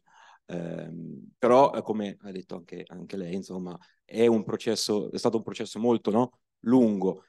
E in verità non è solo uh, eh, 2014, eh, ci sono stati problemi anche all'inizio degli anni 2000 con la Russia che ha addirittura iniziato a costruire, dove adesso c'è il ponte eh, di Kerch, eh, una fortificazione nel 2003 mi pare, eh, sull'isola di Tuzla. Eh, quindi è stato un processo e come eh, hanno detto tutti fondamentalmente seduti qua, mh, mm, è in un certo senso una questione anche identitaria, no? E, e, il timing sicuramente può essere stato deciso in base al, all'effetto della situazione internazionale più ampia, uh, ma probabilmente eh, sì. Bene, no? Prometto di essere brevissimo, eh, so che quando si inizia così è sempre, va sempre al contrario. Innanzitutto totale ammirazione per un pubblico che per tre ore sta ascoltando, non è mai Quello che non sapete che verrete interrogati, ma... eh, esistenza. Chiaramente dateci un segnale per farci staccare prima o poi. E io volevo tornare ad una, eh, alla domanda fatta dal, eh, dal ragazzo eh, prima che per fortuna preso il microfono in mano e ha chiesto qualcosa di molto importante, credo, in relazione ai giovani russi che stanno lasciando il paese e al contributo che potrebbero dare in futuro eh, al processo di democratizzazione dal basso, potremmo dire dall'esterno dell'idea di Russia, la creazione anche di una nuova idea eh, di Russia stessa. È incredibile quanto io sono stato a novembre scorso a Tbilisi, che è stata diciamo, eh, invasa dai russi, creando anche enormi problemi dal punto di vista economico, affitti di appartamenti. Lo stesso è avvenuto a Yerevan, eh, anche, anche Istanbul stessa è diventata una meta eh, importante di migrazione dalla Russia. E mh, si emigra dalla Russia non dal 2022, ma già da tanti anni, da decenni direi. E in Russia si, protest- si è protestato anche in passato. Ricordiamoci che la generazione della, eh, delle proteste di eh, Piazza Balotnaia resta una generazione mancata, ovvero resta una di quelle famose rivoluzioni colorate che hanno fallito e che hanno dato il via a restrizioni paragonabili a quello che è avvenuto soltanto in Bielorussia e, e in, in, in, Russia stessa. E io mi ricordo, sempre per fare un po' di Amarcord, ero anch'io con voi eh, sul, sul Maidan eh, nel, nel 2013 la generazione del Maidan è essenzialmente una generazione disillusa dal primo governo del post-Maidan. La generazione del, del Maidan non ha visto quei riconoscimenti e un ingresso nel, nella politica reale all'indomani delle, delle, della rivoluzione di Euromaidan. E ricordiamoci che Poroshenko ha perso le elezioni del 2019 in modo disastroso. È, è un po' normale, ma è ciclico per tutte queste realtà ovvero si, mh, eh, Volodymyr Ishchenko parla di questa crisi di rappresentanza politica nello spazio post-sovietico. Possiamo parlare di giovani, possiamo parlare di, eh, eh Nona parlava di, eh, eh di, attivi, di entrata di questi giovani nelle ONG, ma non è sufficiente per avere un impatto nella vita politica del paese. Questo secondo me è molto importante anche da affermare, ovvero tutti questi giovani che stanno lasciando il paese e si stanno trasferendo in altre realtà, e questo forse è l'elemento più importante, stanno anche iniziando a eh, creare associazioni, network dal basso di russi che iniziano anche a vivere questa democratizzazione dal basso al di fuori del proprio paese. E questo sarà forse uno degli, dei temi da, da, da tenere d'occhio e da analizzare in futuro anche per comprendere che tipo di contributo potranno dare ad una Russia se ci sarà un'altra Russia o che tipo di ruolo avranno nelle società che li ospiteranno. Ci sono tantissimi eh, interessanti dibattiti su eh, riviste come, non so, Commersante oppure eh, no, Novaya Gazeta Europa, che sarebbe la nuova versione di Novaya Gazeta del, creata al di fuori dei confini della Federazione Russa, in cui molti articoli si intitolano Kamumi Nuzhny, appunto a chi siamo necessari. E c'è questo forte dibattito che sta andando eh, a, a, che sta andando avanti eh, tra eh, i diversi membri di questa comunità che stanno cercando di capire quale sarà il loro ruolo, a cosa devono guardare, alla società che li ospita o al paese che, eh, che hanno abbandonato. E qua ciclicamente un discorso che nella storia russa ritorna, ma che chiaramente avrà un ruolo, eh, un ruolo molto importante. Chiudo con due consigli per gli acquisti. Eh, se eh, visitate il, il, sito e anche la pagina YouTube di Memorial Italia, sta facendo un grandissimo lavoro di traduzione di materiali, anche di video documentari dedicati all'emigrazione russa o, alle o ai conflitti generazionali. Ci sono due film molto belli, eh, uno è Rasrif Sviasi, se non mi ricordo male, che il, potremmo definire come la rottura dei legami che parla dello scontro generazionale tra russi che sostengono la guerra di Putin e eh, russi che decidono di lasciare il paese pur di sostenere eh, pur di sostenere l'Ucraina e di opporsi allo Stato. È un altro film molto bello, entrambi con i sottotitoli in inglese e in italiano, quindi avrete la possibilità magari di dare un'occhiata. Trauma Svidietilia, eh, il trauma del testimone, che racconta proprio l'esperienza di questi russi che hanno lasciato la Russia e che guardano quello, alla loro esperienza di russi che oggi si sentono responsabili di questa guerra e cercano di comprendere, dialogando eh, tra di loro, quale possa essere il loro contributo in futuro per determinare una Russia diversa. Ecco, questo credo che magari può essere uno spunto per... Con i consigli io chiuderei, eh, rimanderei al momento più conviviale gli ulteriori, le ulteriori domande.